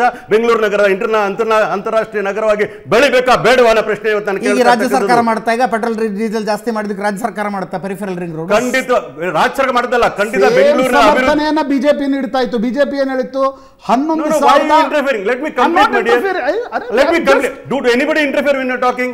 ಸ್ಮಾಲ್ ಪ್ರಶ್ನೆಗಳನ್ನ ಕೇಳ್ತಾ ಇದೀವಿ ಕೇಳಿ ಸರ್ ಕೆಪೆಕ್ಸ್ ಹನ್ನೊಂದು ಲಕ್ಷ ಹನ್ನೊಂದು ಸಾವಿರ ಕೋಟಿ ಇದೀವಿ. ಅದಕ್ಕೆ ನಾವು petrol diesel Ajit sir Prashant sir ಮಾತಾಡುವಾಗ ನಾವೆಲ್ಲರೂ ಬಹಳ ಗೌರವದಿಂದ ಕೇಳ್ತೀವಿ ಸರ್. ನಮಗೆ ಬಿಡಿ ಸರ್ ನಾನು ಮಾತಾಡ್ತಾ ಇರ್ತೀನಿ ನಾನು ಹೇಳ್ತಾ ಇದ್ರೆ ನಾನು ಪೆರಿಫೆರಲ್ ಮೂರು ಮೂರು ಸಾವಿರ ಜಾಸ್ತಿ ಮಾಡಿ ಪೆರಿಫೆರಲ್ ರೋಡ್ ಮಾಡ್ತೀನಿ ಅಂತ ಆಶ್ವಾಸನೆ ಕೊಡ್ಲಿಕ್ಕೆ ಬರಲ್ಲ. ಆದರೆ ಬೆಂಗಳೂರು ನಗರ ಸಹವನ್ನ ಒಂದು ಅಂತಾರಾಷ್ಟ್ರೀಯ ಮಟ್ಟದ ನಗರ ಮಾಡಲಿಕ್ಕೆ ನಾವು ಕಟಿಬದ್ಧರಾಗಿದ್ದೀವಿ ಅಭಿವೃದ್ಧಿ ಮಾಡಬೇಕಾಗುತ್ತೆ ಬೆಂಗಳೂರು ನಗರ ಮಟ್ಟದ ಹಲವಾರು ನಗರಗಳನ್ನ ಇಡೀ ರಾಷ್ಟ್ರ ರಾಜ್ಯವನ್ನ ಅಭಿವೃದ್ಧಿ ಪದ್ಧತಿಗಳನ್ನು ಕೊಂಡೊಯ್ಯಬೇಕು ಅಂತ ಪ್ಲಾನ್ ಮಾಡಿರಬೇಕಾದ್ರೆ ನಮಗಿರ್ತಕ್ಕಂಥ ಸೋರ್ಸಸ್ ಯಾವುದು? Registration cost stamp duty motor vehicle tax ಮತ್ತೆ ನಮ್ಗಿರ್ತಕ್ಕಂಥದ್ದು ಲಿಕ್ಕರ್ ಮೇಲೆ ಆಗ್ತಕ್ಕಂಥ ಸೇಲ್ಸ್ ಟ್ಯಾಕ್ಸು ಇದನ್ನ ಬಿಟ್ಟು ಇದು ಇದನ್ನ ಬಿಟ್ಟು ಬೇರೆ ಯಾವ ರಿಸೋರ್ಸ್ ಇಲ್ಲ. ಜಿ ಎಸ್ ಟಿಯ ಮೊನಪುಲಿ ಆಗಿರ್ತಕ್ಕಂಥದ್ದು ಕೇಂದ್ರ ಸರ್ಕಾರ. ಇಡೀ ಜಿ ಎಸ್ ಟಿನ ಅವೈಜ್ಞಾನಿಕವಾಗಿ ಮಾಡಿರ್ತಕ್ಕಂಥವ್ರು ಯಾರು? ಬಿಜೆಪಿಯವರು ವೈಜ್ಞಾನಿಕವಾಗಿ ಒಂದು ನಿಮಿಷ ಮುಗಿಸ್ತೀವಿ ವೈಜ್ಞಾನಿಕವಾಗಿ ಜಿ ಎಸ್ ಟಿ ಮಾಡಿದ್ದೇ ಆಗಿದ್ರೆ ನಮ್ಮ ನಮಗೆ ಬರಬೇಕಾಗಿರತಕ್ಕಂಥದ್ದು ಎಲ್ಲ ರೀತಿಯಂತ ಸೌಲಭ್ಯಗಳು ಸಿಗ್ತಾ ಇತ್ತು ಫೆಸಿಲಿಟಿ ಸಿಗ್ತಾ ಇತ್ತು ಮಾಡ್ತೀವಿ. ಅದಕ್ಕೋಸ್ಕರ ನಾವು ಟ್ಯಾಕ್ಸ್ ಅನ್ನ ಏರಿಸಿದೀವಿ ಜಿ ಎಸ್ ಟಿ ಅನ್ನ ಏರಿಸಿದೀವಿ. ಅದನ್ನ ನೀವು ಸಮರ್ಥನೆ ಮಾಡ್ಕೊಂಡಂಗೆ. ಅದೇ ಅಲ್ರಿ ಪೆರಿಫಿರಲ್ ರೋಡ್ diesel. ಜಾಸ್ತಿ ಮಾಡ್ತೀನಿ ಅಂತ ಮಾಡ್ಲಿಲ್ಲ ನಮ್ಮ ಕರ್ನಾಟಕ ಕೊಡ್ಲಿಲ್ಲ ಅವರು. ನಾನು ಹೇಳ್ತಾ ಇದ್ದೀನಿ ರೈತರು ನೀನು ಹೇಳ್ತೀನಿ ಕೇಳಿ. ನಮ್ಮ ರೈತರಿಗೆ ನಮ್ಮ ಕೈಲಾಗಿ ಸಹಾಯ ಸಹಕಾರ ಮಾಡಿದ್ವಿ. ಯಾವ ಮಟ್ಟಕ್ಕೆ ಬಂತು ಅಂದ್ರೆ ಬರಗಾಲ ಹೇಳಿ ಎಲ್ಲ ಗ್ಯಾರಂಟಿಗಳಿಗೆ ಹಣ ಕೊಡ್ತಾ ಇಲ್ಲ, ಇಲ್ಲ. ಆಗ್ತಾ ಇಲ್ಲ. ಸುಳ್ಳೇ ಇದಷ್ಟೇ sir? You are just beating around the bush ನಾನು ಪ್ರಶಾಂತ್ ಸಾರ್ಗೆ ಬೇಕಾಗಿರೋ ಉತ್ತರ ಕೊಡಕ್ ಬಂದಿಲ್ಲ. ಕಾಂಗ್ರೆಸ್ ಸರ್ ಕೇಳ್ತಾ ಇಲ್ಲ ರೀ. ನಾನು ಇಷ್ಟೇ ಕೇಳ್ತಾ. ನಾಗರಾಜ್ ಯಾದವ್ ನೀವು ನಮಗೂ ಸಮಾಧಾನ ಮಾಡಬೇಕಾಗಿಲ್ಲ ಯಾರಿಗೂ ಸಮಾಧಾನ ಮಾಡಬೇಕಾಗಿಲ್ಲ. ಸತ್ಯ ಹೇಳಿ. ಸತ್ಯ ಹೇಳಿ ಸತ್ಯ ಹೇಳಿ. ಸರ್ ಸತ್ಯ ಇದೇ ಹೇಳ್ತಾ ಇದೀನಿ ಕೇಳಿ. ಗ್ಯಾರಂಟಿಗಳಿಗೂ ಇದಕ್ಕೆ ಸಂಬಂಧನೇ ಇಲ್ಲ. ಇವತ್ತು ಹೇಳ್ತೀನಿ ಹಾಲಿನ ಬೆಲೆ ಎರಡು ರೂಪಾಯಿ ಜಾಸ್ತಿ ಮಾಡಿದೀವಿ ಅಂತಂದ್ರೆ the quantity is been increase by fifty M L ಅದಕ್ಕೆ ಸಂಬಂಧಪಟ್ಟಿರ್ತಕ್ಕ ಪೂರಕವಾಗಿರ್ತಕ್ಕ proportionate cost is been put we are not charge one ರೂಪಾಯಿ ಎಕ್ಸ್ಟ್ರಾ ಅಂತ ಹೇಳ್ತಾ ಇದೀವಿ ಅದನ್ನ ರಾಜಕಾರಣ ಮಾಡ್ಲಿಕ್ಕೆ ಹೊರಟಿರ್ತಕ್ಕಂಥವ್ರು ಇದೇ ನಂದಿನಿ ಹಾಲ್ನ ನಂದಿನಿ ಕೆ ಎಂ ಮಾರಾಟ ಮಾಡ್ಲಿಕ್ಕೆ ಹೋಗಿ ಅಮೂಲ್ನ ತಂದಂತವ್ರಿಗೆ ಯಾವ ನೈತಿಕತೆ ಇದೆ? ನಮ್ಮ ಪ್ರಶ್ನೆ ಮಾಡ್ಲಿಕ್ಕೆ ಯಾವ ನೈತಿಕತೆಗೆ ನಮ್ಮ ನಮ್ಮ ರಾಜ್ಯದ ಮುಖ್ಯಮಂತ್ರಿಗಳ ಮನೆಯ ಮುತ್ತಿಗೆ ಹಾಕ್ಲಿಕ್ಕೆ ಇವರಿಗೆ? ಆರ್ ಆರ್ ಅಶೋಕ್ ಅವರಿಗೆ. ಈ ಪ್ರಶ್ನೆ ನಾನು ಕೇಳ್ತಾ ಇರ್ತಕ್ಕಂಥ. ಆಮೇಲೆ ಇನ್ನೊಂದು ಬಿಜೆಪಿ ಕಾಂಗ್ರೆಸ್ ಜನರಿಗೂ ಏನಾದ್ರೂ ಅಲ್ಲಿ ಬಂತ ಈ ದುಡ್ಡು ನಾವು ಬಿಜೆಪಿ ದೃಷ್ಟಿಯಿಂದ ಕೇಳ್ತಾ ಇಲ್ಲ ಜನರ ದೃಷ್ಟಿಯಿಂದ ಕೇಳ್ತಾ ಫ್ಯಾಂಟಾಸ್ಟಿಕ್ ಕ್ವಶನ್ ಈ ಹಾಲಿನ ಬೆಲೆ ರೇಸ್ ಮಾಡಿದ್ದೀವಲ್ಲ ಈ ದುಡ್ಡು ಎಲ್ಲಿ ಹೋಗ್ತದೆ? ಕೆ ಎಂ ಎಫ್ ಹೋಗ್ತದೆ. ಕೆ ಎಂ ಎಫ್ ಯಾರು ಕೊಡ್ತಾರೆ? ಇನ್ನು ಹೆಚ್ಚಿನ ಹಾಲಿನ ಖರೀದಿ ಮಾಡ್ತಾರೆ ರೈತರಿಂದ ಖರೀದಿ ಮಾಡ್ತಾರೆ. ರೈತರಿಗೆ ರೈತರಿಗೆ ಕೊಡುವ ಬೆಂಬಲ ಬೆಲೆ ಕೊಟ್ಟು ಎಷ್ಟು ತಿಂಗಳಾಗಿದೆ? ಬಂದೆ ಎಷ್ಟು ತಿಂಗಳಾಗಿದೆ? ಬೆಂಬಲ ಬೆಲೆ ಕೊಟ್ಟು ರೈತರಿಗೆ? ಒಂದು ನಿಮಿಷ ನಾನು ಕಂಪ್ಲೀಟ್ ಮಾಡಿದ್ಮೇಲೆ ಪ್ರಶ್ನೆಗೆ ಉತ್ತರ ಕೊಡ್ತೀನಿ. ನಾನೇನು ಕೇಳ್ತಾ ಇದ್ದೀನಿ ಅಂತಂದ್ರೆ ಈಗ ರೈತರು ಏನು ಮಾಡಿದ್ದಾರೆ ನಾವು ಅಧಿಕಾರಕ್ಕೆ ಬರೋ ಸಂದರ್ಭದಲ್ಲಿ ಹದಿನಾಲ್ಕು ತಿಂಗಳ ಹಿಂದ್ಗಡೆ ತೊಂಬತ್ತು ಲಕ್ಷ ಲೀಟರ್ಗಳನ್ನು ನಾವು ಖರೀದಿ ಮಾಡ್ತಾ ಇದ್ವಿ. ಇವತ್ತು ಹೋಗಿದೆ? ಒಂದು ಕೋಟಿ ದಾಟಿ ಹೋಗಿರ್ತಕ್ಕಂಥದ್ದು. ರೈತರು ಹಾಲು ತಂದಾಗ ನಾವು ಕೊಂಡ್ಕೊಳ್ಳೋಕ್ಕಾಗದ ವಾಪಸ್ ಕಳಿಸ್ಬಿಟ್ಟು ರೈತರು ನಾನು ನಾವು ಸಂಕಷ್ಟಕ್ಕೆ ದುಡಬೇಕಾ? ರೈತರು ಆದ್ಯತೆ ಕೊಡಬೇಕಾದ್ರೆ ಈ ದುಡ್ಡು ಸರ್ಕಾರಕ್ಕೆ ಬಂದದ್ದಲ್ಲ ಸರ್ಕಾರ ರೇಟ್ ಮಾಡಿ ತಿಂಗಳಿಂದ ರೈತರಿಗೆ ಹಾಲಿನ ಬೆಂಬಲ ಬೆಲೆ ಯಾಕೆ ಸಿಕ್ಕಿಲ್ರಿ? ಬೆಂಬಲ ಬೆಲೆ ಖಂಡಿತವಾಗ್ಲೂ ಕೊಡ್ತೀವಿ. ಇದಕ್ಕೆಲ್ಲ ಕಾರಣ ಕೇಂದ್ರ ಸರ್ಕಾರ ಹೇಳ್ತೀನಿ ಕೇಳಿ. ನಾವು ಕೊಡಬೇಕಾಗಿರೋ ಪಾಲನ ಕೊಟ್ಟಿದ್ದೆ ಆದ್ರೆ ಎಲ್ಲ ಪ್ರೋತ್ಸಾಹಧನಗಳನ್ನು ಕೊಡ್ತಾ ಇದ್ವಿ ನಾವು ಎಲ್ಲವನ್ನು ಮಾಡ್ತಾ ಇದ್ವಿ. ನಮ್ಮ. ಕತ್ತಿಗೆನ ನಮ್ಮ ಕುತ್ತಿಗೆಯನ್ನ ಕುತ್ತಿಗೆಯನ್ನ ಇಸ್ಕಿ ನಮ್ಮ ಟ್ಯಾಕ್ಸ್ ಕಲೆಕ್ಟ್ ಮಾಡ್ತಾರೆ ಮಾಡ್ತಾರಲ್ಲ ಯಾವ ಒಂದ್ ನೈತಿಕತೆ ಇದೆ ಪ್ರೊಟೆಸ್ಟ್ ಮಾಡ್ಲಿಕ್ಕೆ ನಮ್ಮ ಮೇಲೆ ಹೇಳಿ. ನಾಗ ನಾಗರಾಜ್ ಯಾದವ್ ನಮ್ಮಂತ ಕುಟುಂಬಗಳ ದುರಂತ ನೋಡ್ಕೊಂಬಿಡಿ ಒಂದ್ಸಲ. ರೈತ ಕುಟುಂಬ ಅಲ್ಲ ಒಂದು ನಿಮಿಷ ಹೇಳ್ತೀನಿ. ಹೇಳ್ತೀನಿ ಕೇಳ್ರಿ. ರೈತ ಕುಟುಂಬದಿಂದ ಬರ್ತೀವಿ. ನಮ್ಮ ತಂದೆ ಒಂದು ಬೋರ್ ಹಾಕ್ಸಿದ್ರು ಹದಿನೈದು ಸಾವಿರ ರೂಪಾಯಿ ದುಡ್ಡು ಕಟ್ಟಿದ್ರೆ ಜಮೀನಿಗೆ ಒಂದು ಟಿ ಸಿ ಹಾಕಿ ಕೊಡ್ತಿದ್ರಿ ಹದಿನೈದು ಸಾವಿರ ರೂಪಾಯಿ. ಎರಡೂವರೆ ಲಕ್ಷ ಈಗ ಹದಿನೈದು ಸಾವಿರ ರೂಪಾಯಿ ಕೊಟ್ಟರೆ ಟ್ರಾನ್ಸ್ಫಾರ್ಮರ್ ಜಮೀನಿಗೆ ಬಂದು ಹಾಕ್ಕೊಟ್ಟು ಹೋಗ್ತಿದ್ರು. ಇವತ್ತು ಎರಡೂವರೆ ಲಕ್ಷ ರೂಪಾಯಿ. ಎರಡೂವರೆ ಎಲ್ಲಿಂದ ತರ್ತಾನ್ರಿ ರೈತ? ಈ ಬರಗಾಲದ ಮಧ್ಯದಲ್ಲಿ ಒಂದು ಬೋರ್ವೆಲ್ ಬತ್ತು ಹೋಗಿದೆ. ಇನ್ನೊಂದು ಬೋರ್ವೆಲ್ ಹಾಕ್ಕೊಂಡು ಹೆಂಗಾರು ನನ್ನ ಬೆಳೆ ಉಳಿಸ್ಕೊಳ್ತೀನಿ ನನ್ನ ತೋಟ ಉಳಿಸ್ಕೊಳ್ತೀನಿ ಅಂದರೆ ಎರಡೂವರೆ ಲಕ್ಷ ಟ್ರಾನ್ಸ್ಫಾರ್ಮರ್ ರಾಜ್ಯ ಕೇಳಿದ್ರೆ? ಏನ? ರಾಜ್ಯ ಸರ್ಕಾರ ಏನಾರೋ ಕಾರಣ? ಅರೆ ಮತ್ತೆ ಟ್ರಾನ್ಸ್ಫಾರ್ಮರ್ ಟ್ರಾನ್ಸ್ಫಾರ್ಮರ್ ಬೆಲೆ ಬೆಲೆ ಏರಿಕೆಗೆ ರಾಜ್ಯ ಸರ್ಕಾರ ಒಂದೇ ಕಾರಣ? ಹದಿನೈದು ಸಾವಿರಕ್ಕೆ ಬರ್ತಾ ಇದ್ದ ಟ್ರಾನ್ಸ್ಫಾರ್ಮರ್ ಎರಡೂವರೆ ಲಕ್ಷ ಯಾಕಾಗಿದೆ. ಅದಕ್ಕೆ ಅದು ಟ್ರಾನ್ಸ್ಫಾರ್ಮರ್ ಇರಲಿ ಅಥವಾ ಪೆಟ್ರೋಲ್ ಇರಲಿ ಡೀಸೆಲ್ ಅದಕ್ಕೆಲ್ಲ ರಾಜ್ಯ ಸರ್ಕಾರ ಏನಾರ ಕಾರಣನಾ? ನಾಗರಾಜ್ ಯಾದವ್. ಕರ್ನಾಟಕ ಒಂದ್ ನಿಮಿಷ. ಉತ್ತರ ಕೊಡ್ಲೇಬೇಕು ಅಂತಿಲ್ಲ. ಒಂದ್ ನಿಮಿಷ ಒಂದ್ ನಿಮಿಷ. ಸರ್ ನಾನು ಹೇಳ್ತೀನಿ. ರೈತ ಹೋಗಿ ಒಂದು ಪಾಯಿಂಟ್ ನೇರವಾಗಿ ಕೇಂದ್ರ ಸರ್ಕಾರ. ನಿಮಿಷ, ಮಾತಾಡ್ಬೇಡಿ. ನಾಗರಾಜ್ ಯಾದವ್ ನಾನು ಇಲ್ಲೇ ಗಂಟ ನಾಗರಾಜ್ ಯಾದವ್, ನಾಗರಾಜ್ ಯಾದವ್, ಒಂದ್ ನಿಮಿಷ. ಒಂದ್ ನಿಮಿಷ ಒಂದ್ ನಿಮಿಷ Nagaraj Yadav, Nagaraj Yadav, please, please. Supreme court ಹೋಗ್ಬೇಕಾಯ್ತು? ನಾಗರಾಜ್ ಯಾದವ್, ನಾಗರಾಜ್ ಯಾದವ್, ನಾನು ಕಹಿ ಸತ್ಯಗಳನ್ನು ಹೇಳ್ತಾ ಇದ್ದೀನಿ ಅಂತ ಡಿಸ್ಟರ್ಬ್ ಮಾಡ್ತಿದ್ದೀರಾ ನನಗೆ? ಕಹಿ ಸತ್ಯಗಳನ್ನು ಹೇಳ್ತಾ ಇದ್ದೀನಿ. ಹೇಳ್ತಾ ಇದ್ದೀನಿ. ಕೇಳಿಸ್ಕೊಳ್ಳಿ ಒಂದ್ಸಲ ಕೇಳಿಸ್ಕೊಳ್ಳಿ ಒಂದ್ಸಲ. ರೈತ ಹೋಗಿ ಒಂದು ತನ್ನ ಜಮೀನಿನ ಪಹಣಿ ತಾನೇ ತಗೋಬೇಕಿದ್ರೆ ಮುಂಚೆ ಎಷ್ಟು ಕೊಡಬೇಕಾಗಿತ್ತು ಈಗ ಎಷ್ಟು ಕೊಡಬೇಕಾಗಿದೆ? ಒಂದು ಎಕರೆ ಜಮೀನು ಒಂದೂವರೆ ವರ್ಷದಿಂದ ರಿಜಿಸ್ಟ್ರೇಷನ್ ಮಾಡಿಸ್ಕೋಬೇಕು ಅಂದರೆ ಮುಂಚೆ ಎಷ್ಟು ಕೊಡಬೇಕಾಗಿತ್ತು ಈಗ ಎಷ್ಟು ಅರೆ ಅಮ್ಮ ಮಗಳಿಗೆ ಗಿಫ್ಟ್ ಡೀಡ್ ಮಾಡಬೇಕು ಅಂದರೆ ಮುಂಚೆ ಎಷ್ಟಿತ್ತು ಈಗ ಎಷ್ಟಾಗಿದೆ ಎ- ಎಲ್ಲಿಂದ ಎಲ್ಲಿ ಕೇಳ್ತೀನಿ, ಅಲ್ಲ ಒಂದ್- ನಿಮಿಷ ಐದು ವರ್ಷಗಳ ಹಿಂದೆ wait wait wait my dear friend wait my dear friend wait wait wait ನಮ್ಮ ಮನೆಯಲ್ಲಿ ಸ್ಕಾಲರ್ಶಿಪ್ ತೆಗೆದುಕೊಳ್ಳುವಂಥ ಮಕ್ಕಳು ಯಾರು ಇಲ್ಲ. ಬಟ್ ರೈತರ ಮಕ್ಕಳಿಗೆ ಒಂದು ಸ್ಕಾಲರ್ಶಿಪ್ ಇತ್ತು ರೀ ಅವ್ರು ಕಾಲೇಜ್ಗೆ ಹೋಗ್ತೀರಿ ಅಂದ್ರೆ ಅವ್ರು ಅವ್ರದ್ದೊಂದು ಸ್ಕಾಲರ್ಶಿಪ್ ಬರ್ತಿತ್ತು. ಏ ಗ್ಯಾರಂಟಿ ಕೊಡ್ತಾ ಇದೀವಿ ಸ್ಕಾಲರ್ಶಿಪ್ ಬೇಡ. ಅವ್ರಿಗೊಂದು ನಾಲ್ಕು ತಿಂಗಳದು ಕಿಸಾನ್ ಸಮ್ಮಾನ್ ರಾಜ್ಯ ಸರ್ಕಾರದಿಂದ ಕೊಡ್ತಿದ್ರು. ಅದನ್ನು ಕೊಡ್ತಾ ಇದ್ದೀವಿ ಇದನ್ನು ಬೇಡ. ಅದನ್ನು ಕೊಡ್ತಾ ಇದ್ದೀವಿ ಆಯ್ತಪ್ಪ, ಯಾವನಿಗೂ ಅಪ್ಪಿ ತಪ್ಪಿ ದಿನ ರಾತ್ರಿ ಒಂದು ಗುಂಡಾಕೋದು ಅಭ್ಯಾಸ ಇತ್ತು ಅಂತ ಇಟ್ಕೊಳ್ಳಿ. ಎಲ್ಲಿಂದ ಎಲ್ಲಿಗೆ ಹೋಗಿದ್ದೀರಿ? ಅವ್ನ ಖರ್ಚು. ಅರೆ ಕುಡಿಯೋದು ಕಡಿಮೆ ಆಗ್ಲಿ. ಯಾವ್ದು ಕುಡಿಯೋದು ಕಡಿಮೆ? ಅವ್ರು ಕುಡಿಯೋದು ಕಡಿಮೆ ಮಾಡಿ ನಿಮ್ಗೆ ಗ್ಯಾರಂಟಿ ಅರ್ಧ ದುಡ್ಡು ಹೋಯ್ತು. ಮೂವತ್ತಾರು ಸಾವಿರ ಕೋಟಿ ರೂಪಾಯಿ ಎಕ್ಸೈಸ್ ಮಾನ್ಯ ಟಾರ್ಗೆಟ್ ನಿಮ್ದು ಮೂವತ್ತಾರು ಸಾವಿರ ಕೋಟಿ ಇದೆ. ನಾಗರಾಜ್ ಯಾದವ್ ನಾಗರಾಜ್ ಯಾದವ್ ಎದೆ ಮೇಲೆ ಕೈ ಇಟ್ಕೊಂಡು ಹೇಳಿ ನಿಮ್ಮ ಅರ್ಧ ಗ್ಯಾರಂಟಿ ದುಡ್ಡನ್ನ ಕುಡುಕರು ಕೊಡ್ತಾ ಇದ್ದಾರೆ. ಸರಿ ಸತ್ಯನ ಸುಳ್ಳ ಮೂವತ್ತಾರು ಸಾವಿರ ಕೋಟಿ ಯಾವುದಲ್ಲ ಎಕ್ಸೈಸ್ ದುಡ್ಡು ಬರೀ ಗ್ಯಾರಂಟಿಗೆ ಹೋಗ್ತದೆ ಏನ್ ಗ್ಯಾರಂಟಿ ನಿಮ್ಗೆ? That is wrong The government is that is part of part of our resources. ನಮ್ ಗ್ಯಾರಂಟಿ ಇಲ್ಲದೆ ಇರೋವಾಗಲೂ ಕೂಡ ಇಪ್ಪತ್ಮೂರು ಸಾವಿರ ಕೋಟಿ ರೂಪಾಯಿಗಳು ಅಲ್ಲಿಂದ ಬರ್ತಾ ಇತ್ತು. ನಾವು ಇನ್ಕ್ರೀಸ್ ಮಾಡೋದು ನಿಜ. ಎಲ್ಲವೂ ಗ್ಯಾರಂಟಿ ಮಧ್ಯದಲ್ಲಿ ಎಲ್ಲದರ ಮಧ್ಯದಲ್ಲಿ ಒಂದ್ ರೀತಿ- ಹೇಳ್ತೀನಿ ಕೇಳಿ. ಬಡವರ ಬಗ್ಗೆ. ಮಾತಾಡ್ತಕ್ಕಂಥದ್ದು ಸರಿ ಯಾರು ಬಡವ್ರ ಬಗ್ಗೆ ರೀ? ಆ ಬಡವ್ರ ಹೆಸರಿನಲ್ಲಿ ದೋಚ್ತಾ ಇದೀರಿ ಅಂತ ಹೇಳ್ತಾ ಖಂಡಿತವಾಗ್ಲೂ ಇಲ್ಲ. ಅವ್ರ ಹೆಸರು ಹೇಳಿ ಹೇಳಿ ಇಲ್ಲ. ಯಾರು ಯಾರ ಮನಸ್ಥಿತಿ ಏನು ಅಂತ ಜನಗಳಿಗೆ ಅರ್ಥ ಆಗ್ತಾ ಇರ್ತಕ್ಕಂಥದ್ದು.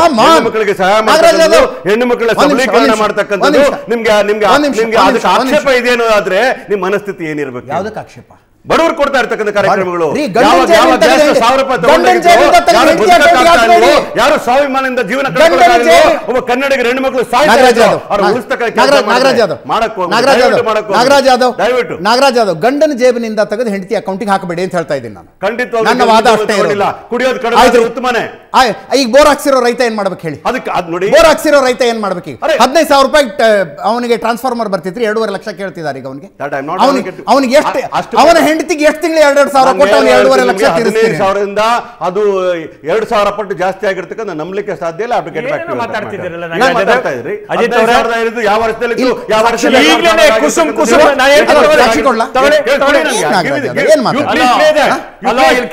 ಬೊಮ್ಮಾಯಿ ಸರ್ಕಾರದ ಎಷ್ಟಿತ್ತು ಸಿದ್ದರಾಮಯ್ಯ ಸರ್ ಪ್ಲೇ ಮಾಡಿ. Let us have let us have debate why you want to tell only ಗಾಳಿಯಲ್ಲಿ ಗುಂಡಾರಿಸೋದು ಆಗೋದಿಲ್ಲ? It cannot be that many percent I challenge with you you cannot ಮಾತಾಡ್ಬೇಕಾದ್ರೆ ರೀತಿಗೋಸ್ಕರ ಮಾತಾಡ್ತಾ ಒಂಚೂರು ಮಾಡಿ ಮಾತಾಡಿ. ಹಾಕಿದ್ದಾರೆ. ಅಜಿತ್ ಆಮೇಲೆ ಅವರೇ. ನಿಮ್ಮ ಫಾಲೋವರ್ಸ್ ಲಕ್ಷಾಂತರ ಜನ ಫಾಲೋವರ್ಸ್ ಅಲ್ಲ, ಇದ್ದಾರೆ ಏನ್ ಮಾತಾಡ್ತಾ ಡೋಂಟ್ ಇದ್ದಾರೆ? Encourage No, no, don't no, no. Encourage ಇದೆ- people who want to go and drink Nagaraj Yadav. ನೀನ್ ನಾಗರಾಜ್ ಯಾದವ್. ನಿಮ್ಮ- ನೋಡಿ, ನಿಮ್ಮ- ನಾಗರಾಜ್ ನಾಗರಾಜ್ ಯಾದವ್. ನಿಮಿಷ, ನಿಮಿಷ, ನಿಮಿಷ, ನಿಮಿಷ. ಮಹೇಶ್ ಮಹೇಶ್ ಮಹೇಶ್ ಮಹೇಶ್ ಮಹೇಶ್ ಈ one of the ನಾಗ್- ನಾಗ್- ನಾಗರಾಜ್ ಯಾದವ್ ಅವ್ರು ಎಲ್ಲ ನಾಗರಾಜ್ ಯಾದವ್ ನಾಗರಾಜ್ ಯಾದವ್ ನಾಗರಾಜ್ ಯಾದವ್ ನಾಗರಾಜ್ ಯಾದವ್ ಜಾಸ್ತಿ ಇದ್ದಾರೆ. ನಾಗರಾಜ್ ಯಾದವ್ ಕುಡಿಯೋದನ್ನ encourage ನಾಗರಾಜ್ ಯಾದವ್ ಮಾಡಿ. ನಾಗರಾಜ್ ಯಾದವ್ ನಾನು ಟ್ರಾನ್ಸ್ಫಾರ್ಮೇಷನ್ ವಿಷಯ ಏನು ಹೇಳಿದೆ ಅದು ಓನ್ ಎಕ್ಸ್ಪೀರಿಯನ್ಸ್ ಹೇಳಿದ್ದೀನಿ ರೀ ಒಂದು ಬ್ರೇಕ್ ಮುಗಿಸ್ಕೊಂಡು ವಾಪಸ್ ಬರ್ತೀನಿ. ಎಂ ಜಿ ಮಹೇಶ್ ಅವರೇ ಇದೇನ ನಮ್ಮ ಕಡೆ ಗಾದೆ ಮಾತಿದೆ, ಊದೋದು ಕೊಟ್ಟು ಬಾರ್ಸ ತಗೊಂಡ್ರು ಅಂತ. ನೀವು ನೀವು ನೀವು ನಿಮ್ಮ ಕಾಲದಲ್ಲಾದ ಬೆಲೆ ಏರಿಕೆಯಿಂದನೇ ಹೈರಾಣಾಗಿದ್ದರು ಜನ.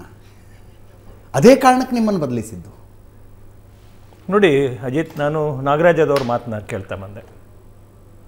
ಎಲ್ಲೂ ಅವರ ಸರ್ಕಾರದ ಒಂದು ಭಟಿಂಗತನದ ಪರಮಾವಧಿ ಅವರ ಬಾಯಿಂದ ಶಬ್ದಗಳ ರೂಪದಲ್ಲಿ ಕಟ್ತಾ ಅವರು ಕ್ರೂಡ್ ಆಯಿಲ್ನ ಬೆಲೆ ಹೇಳಿದರು. ನಾವ್ಯಾರು ಅವರಿಗೆ ಪೆಟ್ರೋಲ್ ಬಾಂಡ್ ಮಾಡಿ ಅಂತ ಹೇಳಲಿಲ್ಲ. ಆ ಪೆಟ್ರೋಲ್ ಬಾಂಡನ್ನು ಸಾಲ ತೀರಿಸುವಂಥ ಹೊಣೆಗಾರಿಕೆ ನಾವೆಲ್ಲ ಮಾಡಿದಂಥದ್ದು, ಅವರೇ ಮಾಡಿ ಇಟ್ಟೋಗ್ದಂಥದ್ದು. ಎರಡು ಲಕ್ಷ ಕೋಟಿ ರೂಪಾಯಿ ಏನು ಪೆಟ್ರೋಲ್ ಬಾಂಡನ್ನು ಇತ್ತು ಈ ದೇಶದೊಳಗಡೆ ಅದನ್ನು ತೀರಿಸುವಂಥ ಕೆಲಸ ಮಾಡಿದಂಥದ್ದು. ಶ ಪ್ರಶಾಂತ್ ನಾಥವ್ರು ಒಂದು ಒಳ್ಳೆ ಮ, ಪ್ರಶ್ನೆ ಕೇಳಿದ್ರು. ಈಗೇನು ಪೆಟ್ರೋಲ್ ಬೆಲೆ ಮಾಡಿದಂಥ ಮೂರು ಸಾವಿರ ಕೋಟಿ ಅವ್ರು ಯಾವುದಕ್ಕೆ ಉಪಯೋಗಿಸ್ತಾರೆ ಅಂತ. ಈಗೇನು ಕ್ಯಾಸ್ಕ್ಯಾಡಿಂಗ್ ಎಫೆಕ್ಟು ಇದ್ದ ಈಗೇನು ಹಾಲಿಂದ ಮಾಡಿರ್ತಕ್ಕಂಥದ್ದು, ಇನ್ನೊಂದು ತಿಂಗಳೊಳಗಡೆ ಕರ್ನಾಟಕದ ಜನ ಬದುಕದೇ ಇರುವಂಥ ಅಂಥ ಒಂದು ಸ್ಥಿತಿಗತಿ ಅಂದರೆ ಅಷ್ಟು ತೀವ್ರತರವಾದಂಥ ಜನಗಳಿಗೆ ಸಮಸ್ಯೆ ಆಗುವಂಥದ್ದು ಕಂಡು ಬರುವಂಥ ಅಂಶ. ಹತ್ತು ತಿಂಗಳೊಳಗಡೆ ಸರ್ಕಾರ ಸಾಧನೆ ಮಾಡಿರ್ತಕ್ಕಂಥದ್ದು ಘನಂದಾರಿ ಕೆಲಸ ಒಂದು ಯಾವುದಾರು ಇದ್ರೆ ಹೇಳಿ. ಅವರು ಮಾಡಿರ್ತಕ್ಕಂಥ ಸಾಧನೆ ಒಂದು ಎಂಬತ್ತಾರು ಸಾವಿರ ಕೋಟಿ ರೂಪಾಯಿ ಸಾಲ ಮಾಡಿದ್ದು ಈ ವರ್ಷ. ಎಸ್ ಸಿ ಎಸ್ ಟಿ ಫಂಡನ್ನು ಬಳಸ್ಕೊಂಡಂಥದ್ದು. ಅದಾದ ಮೇಲೆ ಸ್ಟ್ಯಾಂಪ್ ಪೇಪರ್, ಸ್ಟ್ಯಾಂಪ್ ಡ್ಯೂಟಿನ ಜಾಸ್ತಿ ಮಾಡಿದಂಥದ್ದು. ಅದಾದ ಮೇಲೆ ಪೆಟ್ರೋಲ್, ಡೀಸೆಲ್ ಬೆಲೆ ಜಾಸ್ತಿ ಮಾಡಿದಂಥದ್ದು. ಎಕ್ಸೈಸ್ ಬೆಲೆ ಜಾಸ್ತಿ ಮಾಡಿದಂಥದ್ದು. ಒಟ್ಟು ಡೈರೆಕ್ಟ್ಲಿ, ಇಂಡೈರೆಕ್ಟ್ಲಿ ಸರ್ಕಾರ ಹತ್ತತ್ರ ಒಂದು ಇಪ್ಪತ್ತೆಂಟು ಸಾವಿರ ಕೋಟಿ ರೂಪಾಯಿ, ಐದೂವರೆ ಸಾವಿರ ಕೋಟಿ ರೂಪಾಯಿ ಡಿಮ್ಯಾಂಡ್ ಟಾರ್ಗೆಟ್ ಇಟ್ಕೊಂಡಿರ್ತಕ್ಕಂಥದ್ದು. ಫಾರ್ಟಿ ನೈನ್ ಬಿ ಏನು ಸ್ಟ್ಯಾಂಪ್ ಡ್ಯೂಟಿನ ಜಾಸ್ತಿ ಮಾಡಿರೋದ್ರಲ್ಲಿ ಜಾಸ್ತಿ ಮಾಡಬೇಕು ಅಂತ ಇದರಲ್ಲಿ ಮೂರು ಸಾವಿರ ಕೋಟಿ. ಎಕ್ಸೈಸಲ್ಲಿ ನೀವು ಹೇಳಿದ್ರೆ ಮೂವತ್ತಾರು ಸಾವಿರ ಕೋಟಿಯಿಂದ ಇಪ್ಪತ್ತೆಂಟರಿಂದ ಮೂವತ್ತಾರು ಸಾವಿರ ಕೋಟಿ ರೂಪಾಯಿ ಡಿಮ್ಯಾಂಡನ್ನು ಜಾಸ್ತಿ ಮಾಡಿದ್ರು. ಅಂದರೆ ನಾ ಮೂವತ್ತಾರು ಸಾವಿರ ಕೋಟಿ ಟಾರ್ಗೆಟ್ ಟಾರ್ಗೆಟ್ ಅನ್ನ ಡಿಮ್ಯಾಂಡ್ ಅದು ಮದ್ಯ ಮಾರುವ ಮೂಲಕ ಸರ್ಕಾರಕ್ಕೆ ಗಳಿಸಿಕೊಳ್ಳಬೇಕಾದ ಆದಾಯದ ಟಾರ್ಗೆಟ್. ಖಾತೆಗೆ. ಇಡೀ ಸರ್ಕಾರ ಅಂತಕ್ಕಂಥದ್ದು ಒಂದು ರೀತಿ ಒಳಗಡೆ ಇಂಡೈರೆಕ್ಟ್ಲಿ ಡೈರೆಕ್ಟ್ಲಿ ಲೂಟಿ ಮಾಡೋವಂಥದ್ದು ಪ್ರಶಾಂತ್ ಸರ್ ಹೇಳೋದು ನಾನೊಂದು ಒಪ್ಪಲಿಲ್ಲ ನಾನು. ನಾವು ಏನು ಕೆಪೆಕ್ಸ್ ವ್ಯಾಲ್ಯೂ ಮೇಲೆ ಇನ್ವೆಸ್ಟ್ಮೆಂಟ್ ಮಾಡಿದ್ವಿ ನಾವು ಅಂತ. ನಾವು ಕೆಪೆಕ್ಸ್ ವ್ಯಾಲ್ಯೂನ ನಾವು ಬಂಡವಾಳ ಹಾಕಿದ್ದೀವಿ ಏನು ಗತಿಶೀಲದಲ್ಲಿ ಕೊರೋನಾ ಅಂತ ಕಾಲಘಟ್ಟದ ಒಳಗಡೆ ನಾವು ಹಾಕಿರ್ತಕ್ಕಂಥ ಹದಿನಾರು ಲಕ್ಷ ಕೋಟಿದು ಅದು ಡಿವಿಡೆಂಟ್ ಕೊಡೋ ಕಾರಣಕ್ಕೋಸ್ಕರ ನಮ್ಮ ದೇಶದ ಬೆಳವಣಿಗೆ ಒಂದು ಕಂಟಿನ್ಯೂಸ್ ಪ್ರೊಸೆಸ್ ನಡೀತಾ ನೀವು ಒಂದು ಸಮರ್ಥನೆ ಕೊಡ್ತೀರಿ ಅವರು ಒಂದು ಸಮರ್ಥನೆ ಸಮರ್ಥನೆ ಪ್ರಶ್ನೆ ಅಲ್ಲ ಅಜಿತ್ ಅವರೇ ಈಗ ಅವ್ರು ಹೇಳಬೇಕು. ಅವ್ರೀಗ ಒಂದು ಮಾತು ಹೇಳಿದ್ರಲ್ಲ ನೀವು ಒಳ್ಳೆ ಪ್ರಶ್ನೆ ಮಾಡಿದ್ರಿ. ಮೂರು ಲಕ್ಷದ ನಲವತ್ತಾರು ಸಾವಿರ ಕೋಟಿ ರೂಪಾಯಿ ಬಜೆಟ್ ಮೂರು ಲಕ್ಷದ ನಲವತ್ತಾರು ಸಾವಿರದಲ್ಲಿ. ಮೂರು ಲಕ್ಷದ ನಲವತ್ತಾರು ಸಾವಿರ ಕೋಟಿ ಒಳಗಡೆ ಎರಡು ಲಕ್ಷದ. ಐವತ್ತೆರಡು ಸಾವಿರ ಕೋಟಿ ರೂಪಾಯಿ ಸಂಬಳ ವಗೇರೆಗೆ ಹೋಗುತ್ತೆ ಮಿಕ್ಕಿದ ಉಳ್ಕೊಂಡಿರುವಂಥ ಇವ್ರ ದುಡ್ಡಲ್ಲಿ ಐ ಐವತ್ತಾರು ಸಾವಿರ ಕೋಟಿ ರೂಪಾಯಿ ಗ್ಯಾರಂಟಿಗೆ ಹೋಗುತ್ತೆ ಒಂದೇ ಒಂದು ಪೈಸಾ ಇವರ ಹತ್ರ ಅಭಿವೃದ್ಧಿ ಮಾಡಕ್ಕಿಲ್ಲ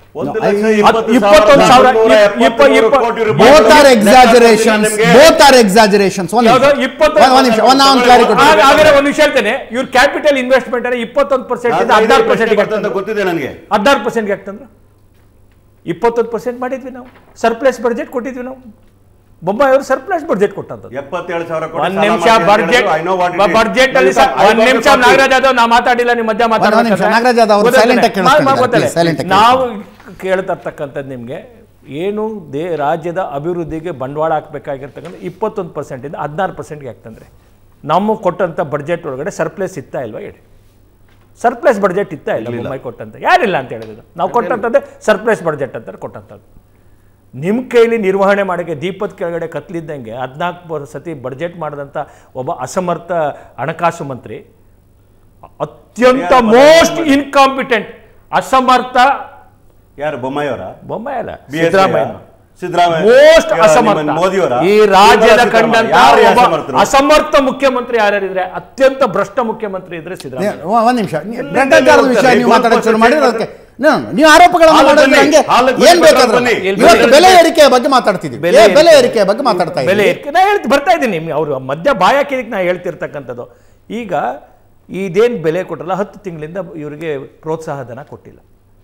ಇದೇನು ಪ್ರಾರಂಭ ನಾವು ಮಾಡಿದ್ವಿ ಏನು ಮಾನ್ಯ ಯಡಿಯೂರಪ್ಪನವ್ರು ಕೊಟ್ಟಂಥದ್ದು ಶುರು ಮಾಡಿದ್ದು. ಅದನ್ನ ಈಗ ಎರಡು ರೂಪಾಯಿ ಇದ್ದಿದ್ದು ಐದು ರೂಪಾಯಿಗೆ ಬಂತು. ಕಳೆದ ಹತ್ತು ತಿಂಗಳಿಂದ ಒಂದು ಸಾವಿರ ಕೋಟಿ ಕೊಟ್ಟಿಲ್ಲ ಇದು ಕೊಡ್ತಿರ್ತಕ್ಕಂಥದ್ದು ಒಂದು ಸಾವಿರ ಕೋಟಿ ಕಲೆಕ್ಷನ್ ಮಾಡೋಕ್ಕೋಸ್ಕರ ಇಂಡೈರೆಕ್ಟ್ಲಿ ಜನಗಳ ಕಿಸೆಗೆ ಹಾಕಿರುವಂಥದ್ದು. ಯಾಕೆ ಕೊಟ್ಟಿಲ್ಲ ಅವರು? ತಾವು ಹೇಳಿದ್ರಲ್ಲ ಕುಸುಮ್ ಅಂತೇಳಿ ಸ್ಕೀಮ್ ಒಳಗಡೆ ಪವರ್ ಇದಕ್ಕೆ ಕೊಡ್ತಾಯಿದ್ರು ಇವತ್ತು ಎಷ್ಟು? ಹದಿನೈದು ಸಾವಿರ ರೂಪಾಯಿ ಇಪ್ಪತ್ತು ಸಾವಿರ ರೂಪಾಯಿ ಆಗ್ತಾ ಇರೋದ ಟ್ರಾನ್ಸ್ಫರ್ ಎರಡೂವರೆ ಲಕ್ಷ. ಮಾಡ್ರಿ. ಪ್ರೂವ್ ಅಲ್ರಿ ಸತ್ಯ ನೀವು ಯಾವ ಜೋರಲ್ಲಿ ಮಾತಾಡ್ಬೋದು ಯಾವ ಚಾಲೆಂಜ್ ರಾಜೀನಾಮೆ ಕೊಡ್ತೀರನ್ರಿ ರಾಜೀನಾಮೆ. ಕೊಡ್ತೀರನ್ರಿ ನೀವು ರಾಜೀನಾಮೆ ಕೊಡ್ತೀರನ್ರಿ ಅವೆಲ್ಲ ಬೇಡ ಇವತ್ತು ರಾಜೀನಾಮೆ ಕೊಡ್ತೀರನ್ರಿ ಸವಾಲ್ ರೀ. ಸವಾಲ್ ಹಾಕ್ರಿ. ಸವಾಲ್ ರೀ. ಲಕ್ಷ ಲಕ್ಷ ಆದ್ರೆ ಯಾವ್ದು?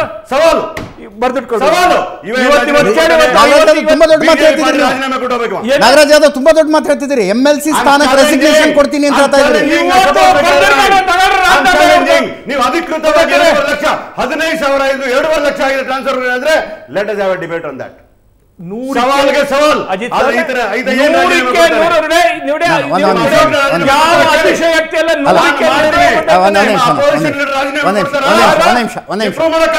ನಾಗರಾಜ್ ಯಾದವ್, ನಾಗರಾಜ್ ಯಾದವ್, ನಾಗರಾಜ್ ಯಾದವ್. ಯಾವ ಸವಾಲುಗಳು ನಿಮ್ ಕಾಂಗ್ರೆಸ್ ಒಂದ್ ನಿಮಿಷ ಒಂದ್ ನಿಮಿಷ. ನಾಗರಾಜ್ ಯಾದವ್ ನಾಗರಾಜ್ ಯಾದವ್ ನಾಗರಾಜ್ ಯಾದವ್. ನೀವು ಕರೆಕ್ಟ್ ಒಂದ್ ಒಂದ್ ನಿಮಿಷ ಒಂದ್ ನಿಮಿಷ. ನಾಗರಾಜ್ ಯಾದವ್ ನಾಗರಾಜ್ ಯಾದವ್? ನಾಗರಾಜ್ ಯಾದವ್ ಒಂದ್ ನಿಮಿಷ ಒಂದ್ ನಿಮಿಷ ನಾಗರಾಜ್ ಯಾದವ್ ನಾಗರಾಜ್ ನಾವು ಒಂದು ಒಂದೇ ನಿಮಿಷ ನಾಗರಾಜ್. ನೀವು ಕೊಬ್ಬರಿ ಬೆಲ್ಲ ತಿಂದು ಬೆಳೆದವರು ಏನು ದ್ರಾಕ್ಷಿ ಗೋಡಂಬಿ ತಿಂದೇ ಬೆಳೆದವರಲ್ಲ ನಿಮಗೂ ರೈತರು ಹಳ್ಳಿ ಜನ ತುಂಬ ಪರಿಚಯ ಇರ್ತಾರೆ. ಸರ್ ಅಲ್ಲ ಈಗ ಇನ್ನು ಇನ್ನು ಇನ್ನು ಎರಡು ನಿಮಿಷದಲ್ಲಿ ನಾನು ಒಂದು ಬ್ರೇಕ್ ತಗೋತೀನಿ. ನಿಮಗೆ ಪರಿಚಯದ ನಾಲ್ಕು ಜನ ರೈತರಿಗೆ ಫೋನ್ ಮಾಡಿ. ಟಿ ಸಿ ಟ್ರಾನ್ಸ್ಫಾರ್ಮರ್ ಬೋರ್ ಹಾಕಿಸಿದಾಗ ಎರಡೂವರೆ ಲಕ್ಷ ಅಂತ ಇದ್ದಿದ್ದೆ ಆದ್ರೆ ನೋಟಿಫಿಕೇಶನ್ ತೋರಿಸಿದ್ದೆ ಆದ್ರೆ ಸವಾಲು ಯಾವ ರೈತರ ಕರ್ಕ ಬನ್ನಿ? ಯಾವ ನೋಟಿಫಿಕೇಶನ್ ನೋಟಿಫಿಕೇಶನ್ ಎರಡೂವರೆ ಲಕ್ಷ ಕೊಡಿ ಅಂತ ನೋಟಿಫಿಕೇಶನ್ ಮಾತಾಡ್ಬೇಡಿ ಅನಧಿಕೃತ ಮಾಡಿದ್ರೆ ಲಂಚ ಕೊಡೋದು ತಪ್ಪಾಗ್ತದೆ ಗೊತ್ತಿಲ್ಲ ಅವ್ರಿಗೆ? ಲಂಚ ಯಾರ್ರಿ? ಲಂಚ ಚಾರ್ಜಸ್ ಬಗ್ಗೆ ಮಾತಾಡ್ತಿರೋದ್ರಿ ಚಾರ್ಜಸ್ ಬಗ್ಗೆ ಮಾತಾಡ್ತಿರೋದು ನಾಗರಾಜ್ ಯಾದವ್ ನಾಗರಾಜ್ ಯಾದವ್ ನಾಗರಾಜ್ ಒಂದ್ ನಿಮಿಷ ಒಂದ್ ನಿಮಿಷ ಒಂದ್ ನಿಮಿಷ ಒಂದ್ ನಿಮಿಷ. ಬರಗಾಲದ ಸಂದರ್ಭದಲ್ಲಿ ಒಂದ್ ನಿಮಿಷ ಒಂದ್ ನಿಮಿಷ. ಬರಗಾಲದ ಸಂದರ್ಭದಲ್ಲಿ ತನ್ನ ತೋಟ ತಾನು ಉಳಿಸಿಕೊಳ್ಳುವುದಕ್ಕೆ ಸಣ್ಣ ರೈತ ಹಾಕಿಸಿಕೊಂಡಿರುವ ಬೋರ್ವೆಲ್ಲಿಗೆ ಒಂದು ಕರೆಂಟ್ ಕನೆಕ್ಷನ್ ತೆಗೆದುಕೊಳ್ಳೋದಕ್ಕೆ ಯಾವ ಸ್ಥಿತಿಗೆ ಬಂದಿದ್ದಾನೆ ಅನ್ನೋದು ನಿಮಗೆ ಗೊತ್ತೇ ಇಲ್ಲ ಅನ್ನೋದಾದ್ರೆ you have lost touch with ground no no no you are you are- ಜೊತೆ ಸಂಪರ್ಕ ನಿಮಗೆ- ಯಾರಾದರೂ ನಿಮಗೆ ಯಾರಾದ್ರೂ ಹೇಳಿರ್ಬೋದು ಅದರ ರಾಂಗ್ ಮಾಹಿತಿ ನಿಮ್ಗೆ ಹೇಳಿದ್ದಾರೆ. ಯಾಕಂದ್ರೆ ಅಜಿತ್ ಅವರ ನಂಬ್ತೀನಿ ಆದ್ರೆ ಯಾರು ನಿಮ್ಗೆ ಸೋರ್ಸ್ ಕೊಟ್ಟಿದ್ದಾರೆ ರೆಸ್ಪೆಕ್ಟ್ ಫಾರ್ ಅಜಿತ್. ನಾಗರಾಜ್ ಯಾದವ್? ಇವೆಲ್ಲ ನಿಮ್ಗೆ ಹೇಳ್ತೀನಿ. ಅವರು ಅವರು ಹೇಳಿರ್ತಕ್ಕಂಥದ್ದು ಅಕ್ಷರಶಃ ಸತ್ಯ.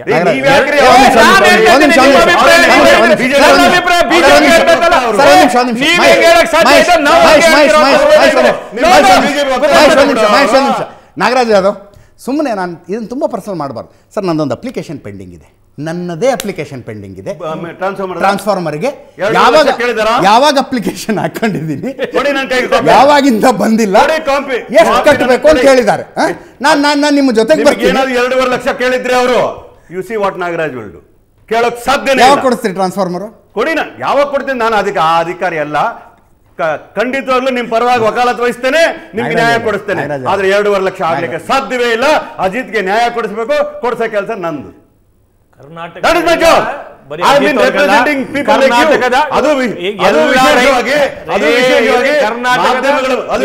ರೈತರಿಗೆ ಅದು?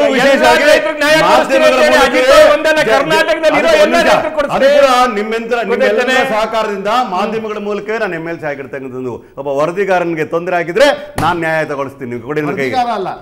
ಜನಸಾಮಾನ್ಯ. ಆಮೇಲೆ ನಾಗರಾಜ್ ಯಾದವ್ ನಮ್ಮಂಥ ಜನಸಾಮಾನ್ಯರ ಬಗ್ಗೆ ಯೋಚನೆ ಮಾಡಿ. ನಾನು ಹಳ್ಳಿಯಲ್ಲಿರುವ ತಂದೆ ತಾಯಿಯ ಪರಿಸ್ಥಿತಿ ಹೇಳಿದೆ. ಇಲ್ಲಿ ಬೆಂಗಳೂರಿಗೆ ಬಂದಿದ್ದೀವಿ. ಎರಡು ಸಾವಿರ ರೂಪಾಯಿ ನಮ್ಮ ಪತ್ನಿ ಅಕೌಂಟಿಗೆ ಬರೋದಿಲ್ಲ because we are not eligible ನಾವು ದೊಡ್ಡಸ್ತಿಕೆಗೆ ಏ ನಿಮ್ಮದು ಗೃಹಜ್ಯೋತಿ ಬೇಡಪ್ಪ. ಎರಡು ಸಾವಿರ ಏನೋ ಎಷ್ಟು ಕರೆಂಟ್ ಬಿಲ್ ಫ್ರೀ ಬೇಡ. 200. ಬಡವರಿಗೆ ತಲುಪಲಿ ನಾವು ಕರೆಂಟ್ ಬಿಲ್ ಕಟ್ಕೋತೀವಿ ಅಂದ್ವಿ. ಇಲ್ಲ ನಿಮ್ಮ ಉದ್ದೇಶ ಚೆನ್ನಾಗಿದೆ. ಹಾಂ ಈಗ ಯಾರು ಬಸ್ಸಲ್ಲಿ ಓಡಾಡಿ ಫ್ರೀ ಬಸ್ಸಲ್ಲಂತೂ ಓಡಾಡೋದಿಲ್ಲ.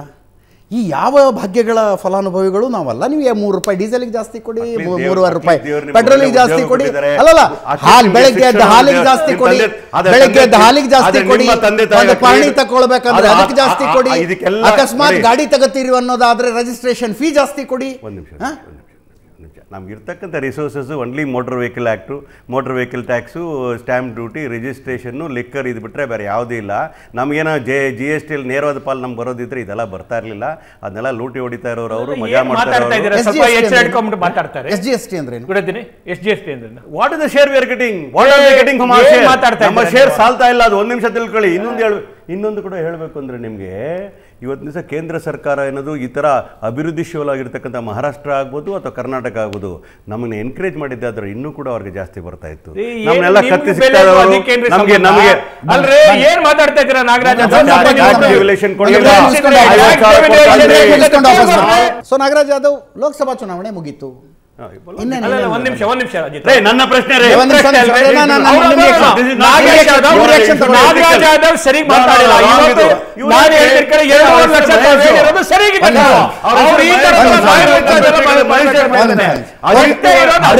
ಸಂದರ್ಭದಲ್ಲಿ ವೀಕ್ಷಕರಾದ ತಾವು ಒಂದ್ ನಿಮಿಷ ಒಂದ್ ನಿಮಿಷ ಒಂದ್ ನಿಮಿಷ ಒಂದ್ ನಿಮಿಷ ಒಂದ್ ನಿಮಿಷ ಒಂದ್?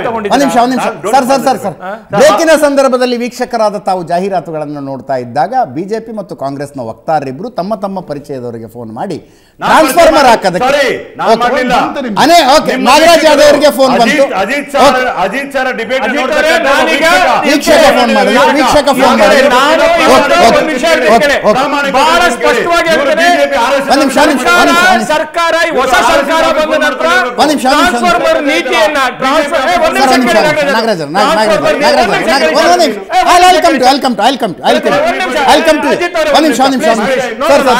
ಸರ್, ನಿಮಿಷ ಒಂದ್ ನಿಮಿಷ, ಒಂದ್ ನಿಮಿಷ ಮಹೇಶ್ ಮಹೇಶ್ ಮಹೇಶ್ ಮಹೇಶ್ ಒಂದ್ ಒಂದ್ ನಿಮಿಷ ಸರ್ ಈ ಡಿಬೇಟ್ನಿಂದ ಒಂದ್ ನಿಮಿಷ ಒಂದ್ ನಿಮಿಷ ಸರ್. ಒಂದ್ ನಿಮಿಷ ಒಂದ್ ನಿಮಿಷ ಈ ಡಿಬೇಟ್ನಿಂದ ನಾಗರಾಜ್ ಅದ ಒಂದ್ ನಿಮಿಷ ಮಹೇಶ್ ಒಂದ್ ನಿಮಿಷ ಈ ಡಿಬೇಟ್ನಿಂದ ಅದೇನಾಗುತ್ತೋ ಗೊತ್ತಿಲ್ಲ. ಒಂದು ವರ್ಷದಿಂದ ನಾನು ಮಾಡ್ತಾ ಇರೋ ಪ್ರಯತ್ನ ಏನಿದೆಯಲ್ಲ ಅದನ್ನ ಒಂದು ವರ್ಷದಿಂದ ಮಾಡ್ತಾ ಇರುವ ಪ್ರಯತ್ನ. ಪ್ರಶಾಂತ್ ಸರ್. ಪ್ರಶಾಂತ್ ಮಾತು ಪ್ರತ್ಯಕ್ಷ ಸಾಕ್ಷಿ. ಒಂದು ಟ್ರಾನ್ಸ್ಫಾರ್ಮರ್ ತಗೊಳಕ್ಕೆ ಏನೇನಾಗಿದೆ ಕಥೆ? ಅಂತ ಬಂದ ಬಂದ ಬಂದ ಬಂದ ನಿಮಿಷ. ಬಂದ ಬಂದ ನನ್ನ ಬಂದ ಬಂದ ಬಂದ ಒಂದ್ ಬಂದ ನಿಮಿಷ. ಒಂದ್ ನಿಮಿಷ ಮಹೇಶ್ ಏನು ಪಾಲಿಸಿ ಇತ್ತು? ತಾವೇನು ಉಲ್ಲೇಖ ಮಾಡಿದರೆ ಅದು ಸರಿಯಾಗಿರತಕ್ಕಂಥದ್ದು ಸರ್ಕಾರ ಇವತ್ತು ರೈತರು ತಮ್ಮ ಪಂಪ್ ಸೆಟ್ಗಳಿಗೆ ತಾವೇ ಸೆಲ್ಫ್ ಎಕ್ಸಿಕ್ಯೂಷನ್ ಅಂತ ಮಾಡ್ಕೋಬೇಕಾಗಿದೆ. ಅದಕ್ಕೆ ಆಗುವಂಥ ಅಷ್ಟು ಖರ್ಚವನ್ನು ರೈತರನ್ನೇ ಭರಿಸಬೇಕಾಗಿದೆ ಒಂದು ಕಾಲದಲ್ಲಿ ಇಪ್ಪತ್ತೈದು, ಮೂವತ್ತು ಸಾವಿರ, ಐವತ್ತು ಸಾವಿರ ರೂಪಾಯಿ ಒಳಗಡೆ ಆಗೋ ಕೆಲಸ ಇವತ್ತು ಎರಡೂವರೆ ಲಕ್ಷಕ್ಕೆ ತಂದಿದ್ದಾರೆ. ಇದು ದೊಡ್ಡ ಘನಂದಾರಿ ಸಾಧನೆ ಇವ್ರ ಸರ್ಕಾರದ್ದು. ಅದ್ರ ಮೇಲೆ. ಆಸ್ ಎ ನಾಗರಾಜ್ ಅವರು ಸ್ನೇಹಿತರು ನಮಗೆ ಪಾಪ ಅವ್ರ ವಿಧಾನ ಪರಿಷತ್ತನ್ನ ಈ ವಿಷಯಕ್ಕೋಸ್ಕರ ಅವರು ಅದನ್ನ ಫ್ಲೆಡ್ಜ್ ಮಾಡುವಂತ ಅಗತ್ಯ ಇಲ್ಲ. ಅಂತ ನಾವು ಬಹಳ ಕಷ್ಟಪಟ್ಟು ಕಷ್ಟಪಟ್ಟು ನಿಮ್ಮಂತ ಪಾರ್ಟಿಯವರು ಸಜ್ಜನರು ನಿಮ್ಮ ಪಾರ್ಟಿ ನಾನು ಹೇಳ್ತೀನಿ. ನಿಮ್ಮ ಏನು? ರಾಜೀನಾಮೆ ಕೊಡಿಸಿ. ನಾನು ಟ್ರಾನ್ಸ್ಫರ್ ಆಗ್ಲಿಕ್ಕೆ ಅಂತ. ಈಗ ಒಂದು ಕೆಲಸ ಮಾಡ್ರೆ. ಇದು ಸತ್ಯ ಅವ್ರು ಸಿದ್ದರಾಮಯ್ಯ ಏನ್ ಮಾತಾಡ್ತಾ ಇದ್ದೀರಾ ನೀವು? ಪ್ರತ್ಯಕ್ಷ ಸಾಕ್ಷಿ ಮುಂದೆ ಕುತ್ಕೊಂಡು ಹೇಳ್ತಾ ಇದ್ದೀನಿ ನೀವು ಮಾತಾಡ್ತಾ ಪ್ರತ್ಯಕ್ಷ? ಸಾಕ್ಷಿ. ಕೊರಾಬರೇಟಿವ್ ಎವಿಡೆನ್ಸ್ ಪ್ರಶಾಂತ್ ನಾಥು ಇದೆ ಒಂದ್ ಹೇಳ ನಿಮ್ಗೆ. ಒಂದು ವರ್ಷದ ಸರ್ಕಸ್ ಸರ್, ಕಾಂಗ್ರೆಸ್ ಅವರು ಇಡೀ ಕರ್ನಾಟಕದಲ್ಲಿ ಇದೇ ತರ ಸುಳ್ಳು ಹೇಳ್ಕೊಂಡು ಜನಗಳಿಗೆ ಮೋಸ ನಮ್ಮಂತ ಮಧ್ಯಮ ವರ್ಗದವ್ರ ಮೇಲೆ ಎಸ್ ಮಹೇಶ್ ಮಹೇಶ್. ನಮ್ಮಂತ ಮಧ್ಯಮ ವರ್ಗದವ್ರ ಮೇಲಿನ ಭಾರ ಒಂಚೂರು ಕಡಿಮೆ ಮಾಡಿ. ನಮ್ಮಂತ ಮಧ್ಯಮ ವರ್ಗದವ್ರ ಮೇಲಿನ ಭಾರ ಒಂಚೂರು ಕಡಿಮೆ ನಾನು ಹೇಳ್ತೀನಿ ಕೇಳಿ ಅಜಿತ್ ಸರ್ ಮಧ್ಯಮ ವರ್ಗದವ್ರು ಅಲ್ಲ. ಮಧ್ಯಮದವ್ರಿಗೆ ಮಾಡಬೇಕು. ನಿಜ Ajit sir is very nice well settled person god is blessed him I am happy for it ಆದರೂ ಸಹ. ದೇವ್ರು ಕುತ್ಕೊಂಡು ತಥಾಸ್ತು ತಥಾಸ್ತು ಅಂತ ಇರ್ತಾರೆ ಅಜಿತ್ ಸರ್ ಒಂದು point of order sir please ಒಂದು ಒಂದು ಪಾಯಿಂಟ್ ಆಫ್ ಆರ್ಡರ್ ಸರ್ ತಥಾಸ್ತು ನಿಜವಾಗ್ಲೂ ಕೂಡ ಇನ್ನೂ ಇನ್ನೂ ಒಳ್ಳೇದಾಗ್ತದೆ. ಯಾಕಂದ್ರೆ ಈಗ ನೀವು ಒಂದು ಕೆಲಸ. ಕಷ್ಟಪಟ್ಟು ದುಡಿದಿದ್ದೀರಾ? ಮಿಸ್ಟರ್ ನಾಗರಾಜ್ ಒಂದು ಒಂದು ನಿಮಿಷ. ಅವ್ರಿಗೆ ಅವ್ರಿಗೆ ಸ್ವಲ್ಪ ನನ್ನ ಸಾವಿರ ರೂಪಾಯಿ ಹಾಕ್ಸ್ಕೊಡ್ತೀರಾ ಈಗ? Ganesha bhai. Fifty this yeah? You promising ನೀವು ಹೇಳಿ ಸರಿ that is between Ajit and me ಯಾರ್ ವೈ ಯಾರ್ ಕರೆಕ್ಟ್ ಯಾರ್ don't fall the debate please over all ಬೆಲೆ ಏರಿಕೆ ಬಗ್ಗೆ. ಓವರ್ ಆಲ್ ಬೆಲೆ ಭಾರ ಕಡಿಮೆ ಮಾಡಿ. ನೋಡಿ ಹಾಲಿನ ಬಗ್ಗೆ ಮಾತಾಡೋಣ. ವಿಶೇಷವಾಗಿ ನೀವು ತಗೊಂಡಿರೋದೇನಕ್ಕೆ ಇವತ್ತು ಎರಡು ರೂಪಾಯಿ ಜಾಸ್ತಿ ಮಾಡಿದ್ದಾರೆ. ಅರ್ಧ ಲೀಟ್ರಿಗೂ ಎರಡು ರೂಪಾಯಿ ಮಾಡಿಬಿಟ್ಟಿದ್ದಾರೆ. ಒಂದು ಲೀಟ್ರಿಗೂ ಎರಡು ರೂಪಾಯಿ ಮಾಡಿಬಿಟ್ಟಿದ್ದಾರೆ. ಇದು ಬಹಳ ತಪ್ಪು ಅನ್ನೋ ವಿಚಾರ ಹೇಳ್ತೀನಿ. ಇದು ಸರ್ಕಾರ ಮಾಡಿಲ್ಲ ಅಂತಕ್ಕಂಥ ಸ್ಪಷ್ಟನೆ ಕೊಡ್ತಾ ಇದ್ದೀನಿ. ಆ ಕೆ ಎಂ ಎಫ್ ಅಂತಕ್ಕಂಥ ನಿಗಮ ಮಾಡಿರ್ತಕ್ಕಂಥದ್ದು ಬೆಲೆ ಏರಿಕೆ ವಿಚಾರದಲ್ಲಿ ಅದಕ್ಕೆ ಜಸ್ಟಿಫಿಕೇಶನ್ ಕೊಟ್ಟಿದ್ದಾರೆ. ಪ್ರೊಪೋಷನೇಟ್ ಆಗಿ ಎರಡು ರೂಪಾಯಿಗೆ ಪ್ರೊಪೋಷನೇಟ್ ಆಗಿ ನಾವು ಕೊಡ್ತಾ ಇರ್ತಕ್ಕಂಥ ಹಾಲು ರೈತರಿಗೆ ಸಹಾಯ ಆಗಬೇಕು. ರೈತರಿಗೆ ಏನಾಗಿದೆ? ಹೈನುಗಾರಿಕೆ. ಕಾಂಗ್ರೆಸ್ ಸರ್ಕಾರ ಬಂದ ಹೈನುಗಾರಿಕೆ ಸುಮಾರು ಹತ್ತು ಲಕ್ಷ ಲೀಟರ್ ಜಾಸ್ತಿ ಆಗಿದೆ ಪ್ರತಿದಿನ ಅದು ವಾಪಸ್ ಕೊಡಬಾರ್ದು. ಯಾಕಂದರೆ ರೈತರಿಗೆ ಬರಗಾಲದಿಂದ ಬಿ ಜೆ ಪಿಯವರು ದುಡ್ಡು ಕೊಡ್ತೀರಾ ಬರಗಾಲದಿಂದ ತೊಂದರೆ ಹಾಕಿ ಸಮಸ್ಯೆಗಿರೋ ಸಂದರ್ಭದಲ್ಲಿ ನಾವು ಅವರ ಪ್ರೋತ್ಸಾಹ ಮಾಡ್ತಾ ಇರೋದಕ್ಕೋಸ್ಕರ ಹೈನುಗಾರಿಕೆ ಇಂಪ್ರೂವ್ ಆಗಿದೆ. ಅದನ್ನ ಕೊಂಡ್ಕೋಬೇಕಾಗ್ತದೆ ದುಡ್ಡು ಬೇಕಾಗ್ತದೆ. ಫಿಫ್ಟಿ ಎಂ ಎಲ್ಗೆ ಎಷ್ಟು ಸಂಬಂಧ ಇದು equivalent cost is been put there ಬೆಲೆ ಏರಿಕೆ ಮಾಡಲಿಲ್ಲ. ಇದು ರಾಜಕೀಯ ಕುತಂತ್ರದ ಮಾತುಗಳನ್ನು ಮಾಡಿಕೊಂಡು ಬೀದಿಗೆ ಬಂದು ಟ್ರಾಫಿಕ್ ಜಾಮ್ ಮಾಡ್ತಕ್ಕಂಥವ್ರು ಈ ದೇಶಕ್ಕೆ ನಾಡಿಗೆ ಮಾಡ್ತಕ್ಕಂಥ ದ್ರೋಹ ನಮ್ಮ ಮಾತು ಹೇಳ್ತಾರೆ ಇವ್ರಿಗೆ- ಯಾರು ಒಂದು ಲಕ್ಷ ಲೀಟರ್ ಹಾಕ್ತಾರೆ ಅಮೂಲ್ ಜ ಒಂದು ನಿಮಿಷ ರೀ. ನೀವು ಚುನಾವಣೆ ಮುಂಚೆ ಕರ್ನಾಟಕದಲ್ಲಿ ರೈತರಲ್ಲಿ ಒಂದು ಆತಂಕ ನಿರ್ಮಾಣ ಮಾಡಿದ್ರಿ. ಅಮೂಲ್ ಮಾಡಿದೆ ನಂದಿನಿ ಮುಗಿಸ್ಬಿಡ್ತದೆ. ಹಾಗೆ ಹೀಗೆ ಅಂತೇಳಿ ಬೊಬ್ಬೆ ಹಾಕಿದ್ರಿ ಒಂದ್ ನಿಮಿಷ ಕೇಳ್ರಿ ಇವತ್ತು ಇಡೀ ಜಗತ್ತಿಗೆ ಇವತ್ತನ್ನ ಇವತ್ತು ಈಸ್ ಆಫ್ ಡೂಯಿಂಗ್ ಬಿಸ್ನೆಸ್ ಇಷ್ಟು ಹತ್ರದಲ್ಲಿ ಇರಬೇಕಾದಾಗ ಇಡೀ ಯಾಕೆ ಜಗತ್ತಿಗೆ ಮಾಡಕ್ ನೀವು? ನಿಮ್. ಕೈಲಿ ಮೋನ್ ಅಂತಂದ್ರೆ ನೀವೇನ್ ಮಾಡಿದ್ರಿ ಹಾಗಾದ್ರೆ? ಒಂದು ನೀವೇನ್ ಮಾಡಿದ್ರಿ ನೀವು? ಮಾಡಿದ್ರು. ನೀವೇ ನಮ್ಮ ನೀವೇನ್ ಮಾಡಿದ್ರಿ? ಮಾನವರಿಂದ ನೀವೇನ್ರಿ ಮಾಡಿದ್ರಿ ಈಗ ರೈತರು ನೀವೇನ್ರಿ ಸಾಧನೆ ಮಾಡಿದ್ರಿ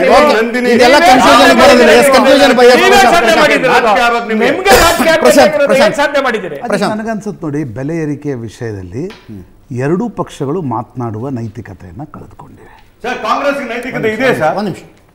ಎರಡೂ ಪಕ್ಷಗಳು ಇದೆ ಅಂದ್ರೆ ಇದೆಯಾ ಅಂದ್ರ? ಇದೆ. ಓಕೆ ಹಾಂ. ಎರಡೂ ರಾಜಕೀಯ ಪಕ್ಷಗಳು ಯಾಕಂದ್ರೆ ಯಾವಾಗ ಯಾವಾಗ ಬೆಲೆ ಏರಿಕೆಯನ್ನು ತುಸು ತಗ್ಗಿಸಿ ಗ್ರಾಹಕರಿಗೆ ಸಾಮಾನ್ಯ ಕುಟುಂಬಗಳಿಗೆ ಸಹಾಯ ಮಾಡುವ ಪರಿಸ್ಥಿತಿ ಇತ್ತು ಆಗ ತಗ್ಗಿಸ್ತಕ್ಕಂಥ ಪ, ನೋಡಿ ಇವತ್ತು ಎರಡೂ ರಾಜಕೀಯ ಪಕ್ಷಗಳು, ಇವತ್ತು ನಾಗರಾಜ್ ಯಾದವ್ ಮೂರು ರೂಪಾಯಿ ಜಾಸ್ತಿ ಮಾಡಿದ್ದನ್ನು ಸಮರ್ಥಿಸ್ಕೊಳ್ತಾರೆ. ಒಂದು ವರ್ಷದ ಹಿಂದೆ ಕೇಂದ್ರ ಸರ್ಕಾರ ಜಾಸ್ತಿ ಮಾಡಿದಾಗ ಟೀಕೆ ಮಾಡ್ತಾಯಿದ್ರು ಮಹೇಶ್ ಸರ್ಕಾರ ಜಾಸ್ತಿ ಮಾಡಿದಾಗ ಪೆಟ್ರೋಲ್ ಈಗ ಟೀಕೆ ಮಾಡ್ತಾರೆ ಅವಾಗ ಸಮರ್ಥನೆ ಅವ್ರು ಮಾಡ್ಕೊಂಡಿದ್ದಾರೆ ಹೀಗಾಗಿ ನಾನು ಬಜೆಟ್ನ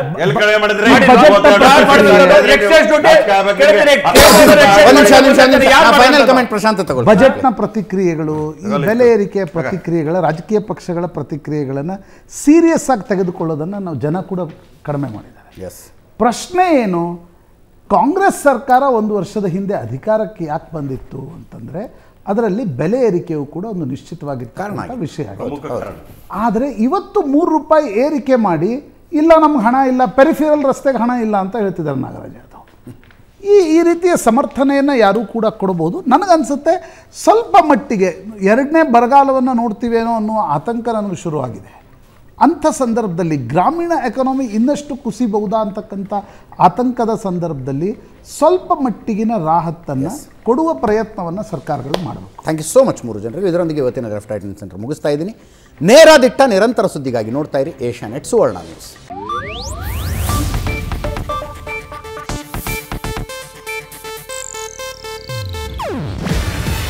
ಇದು ಏಷ್ಯಾನೆಟ್ ನ್ಯೂಸ್ ನೆಟ್ವರ್ಕ್ ಪ್ರಸ್ತುತಿ.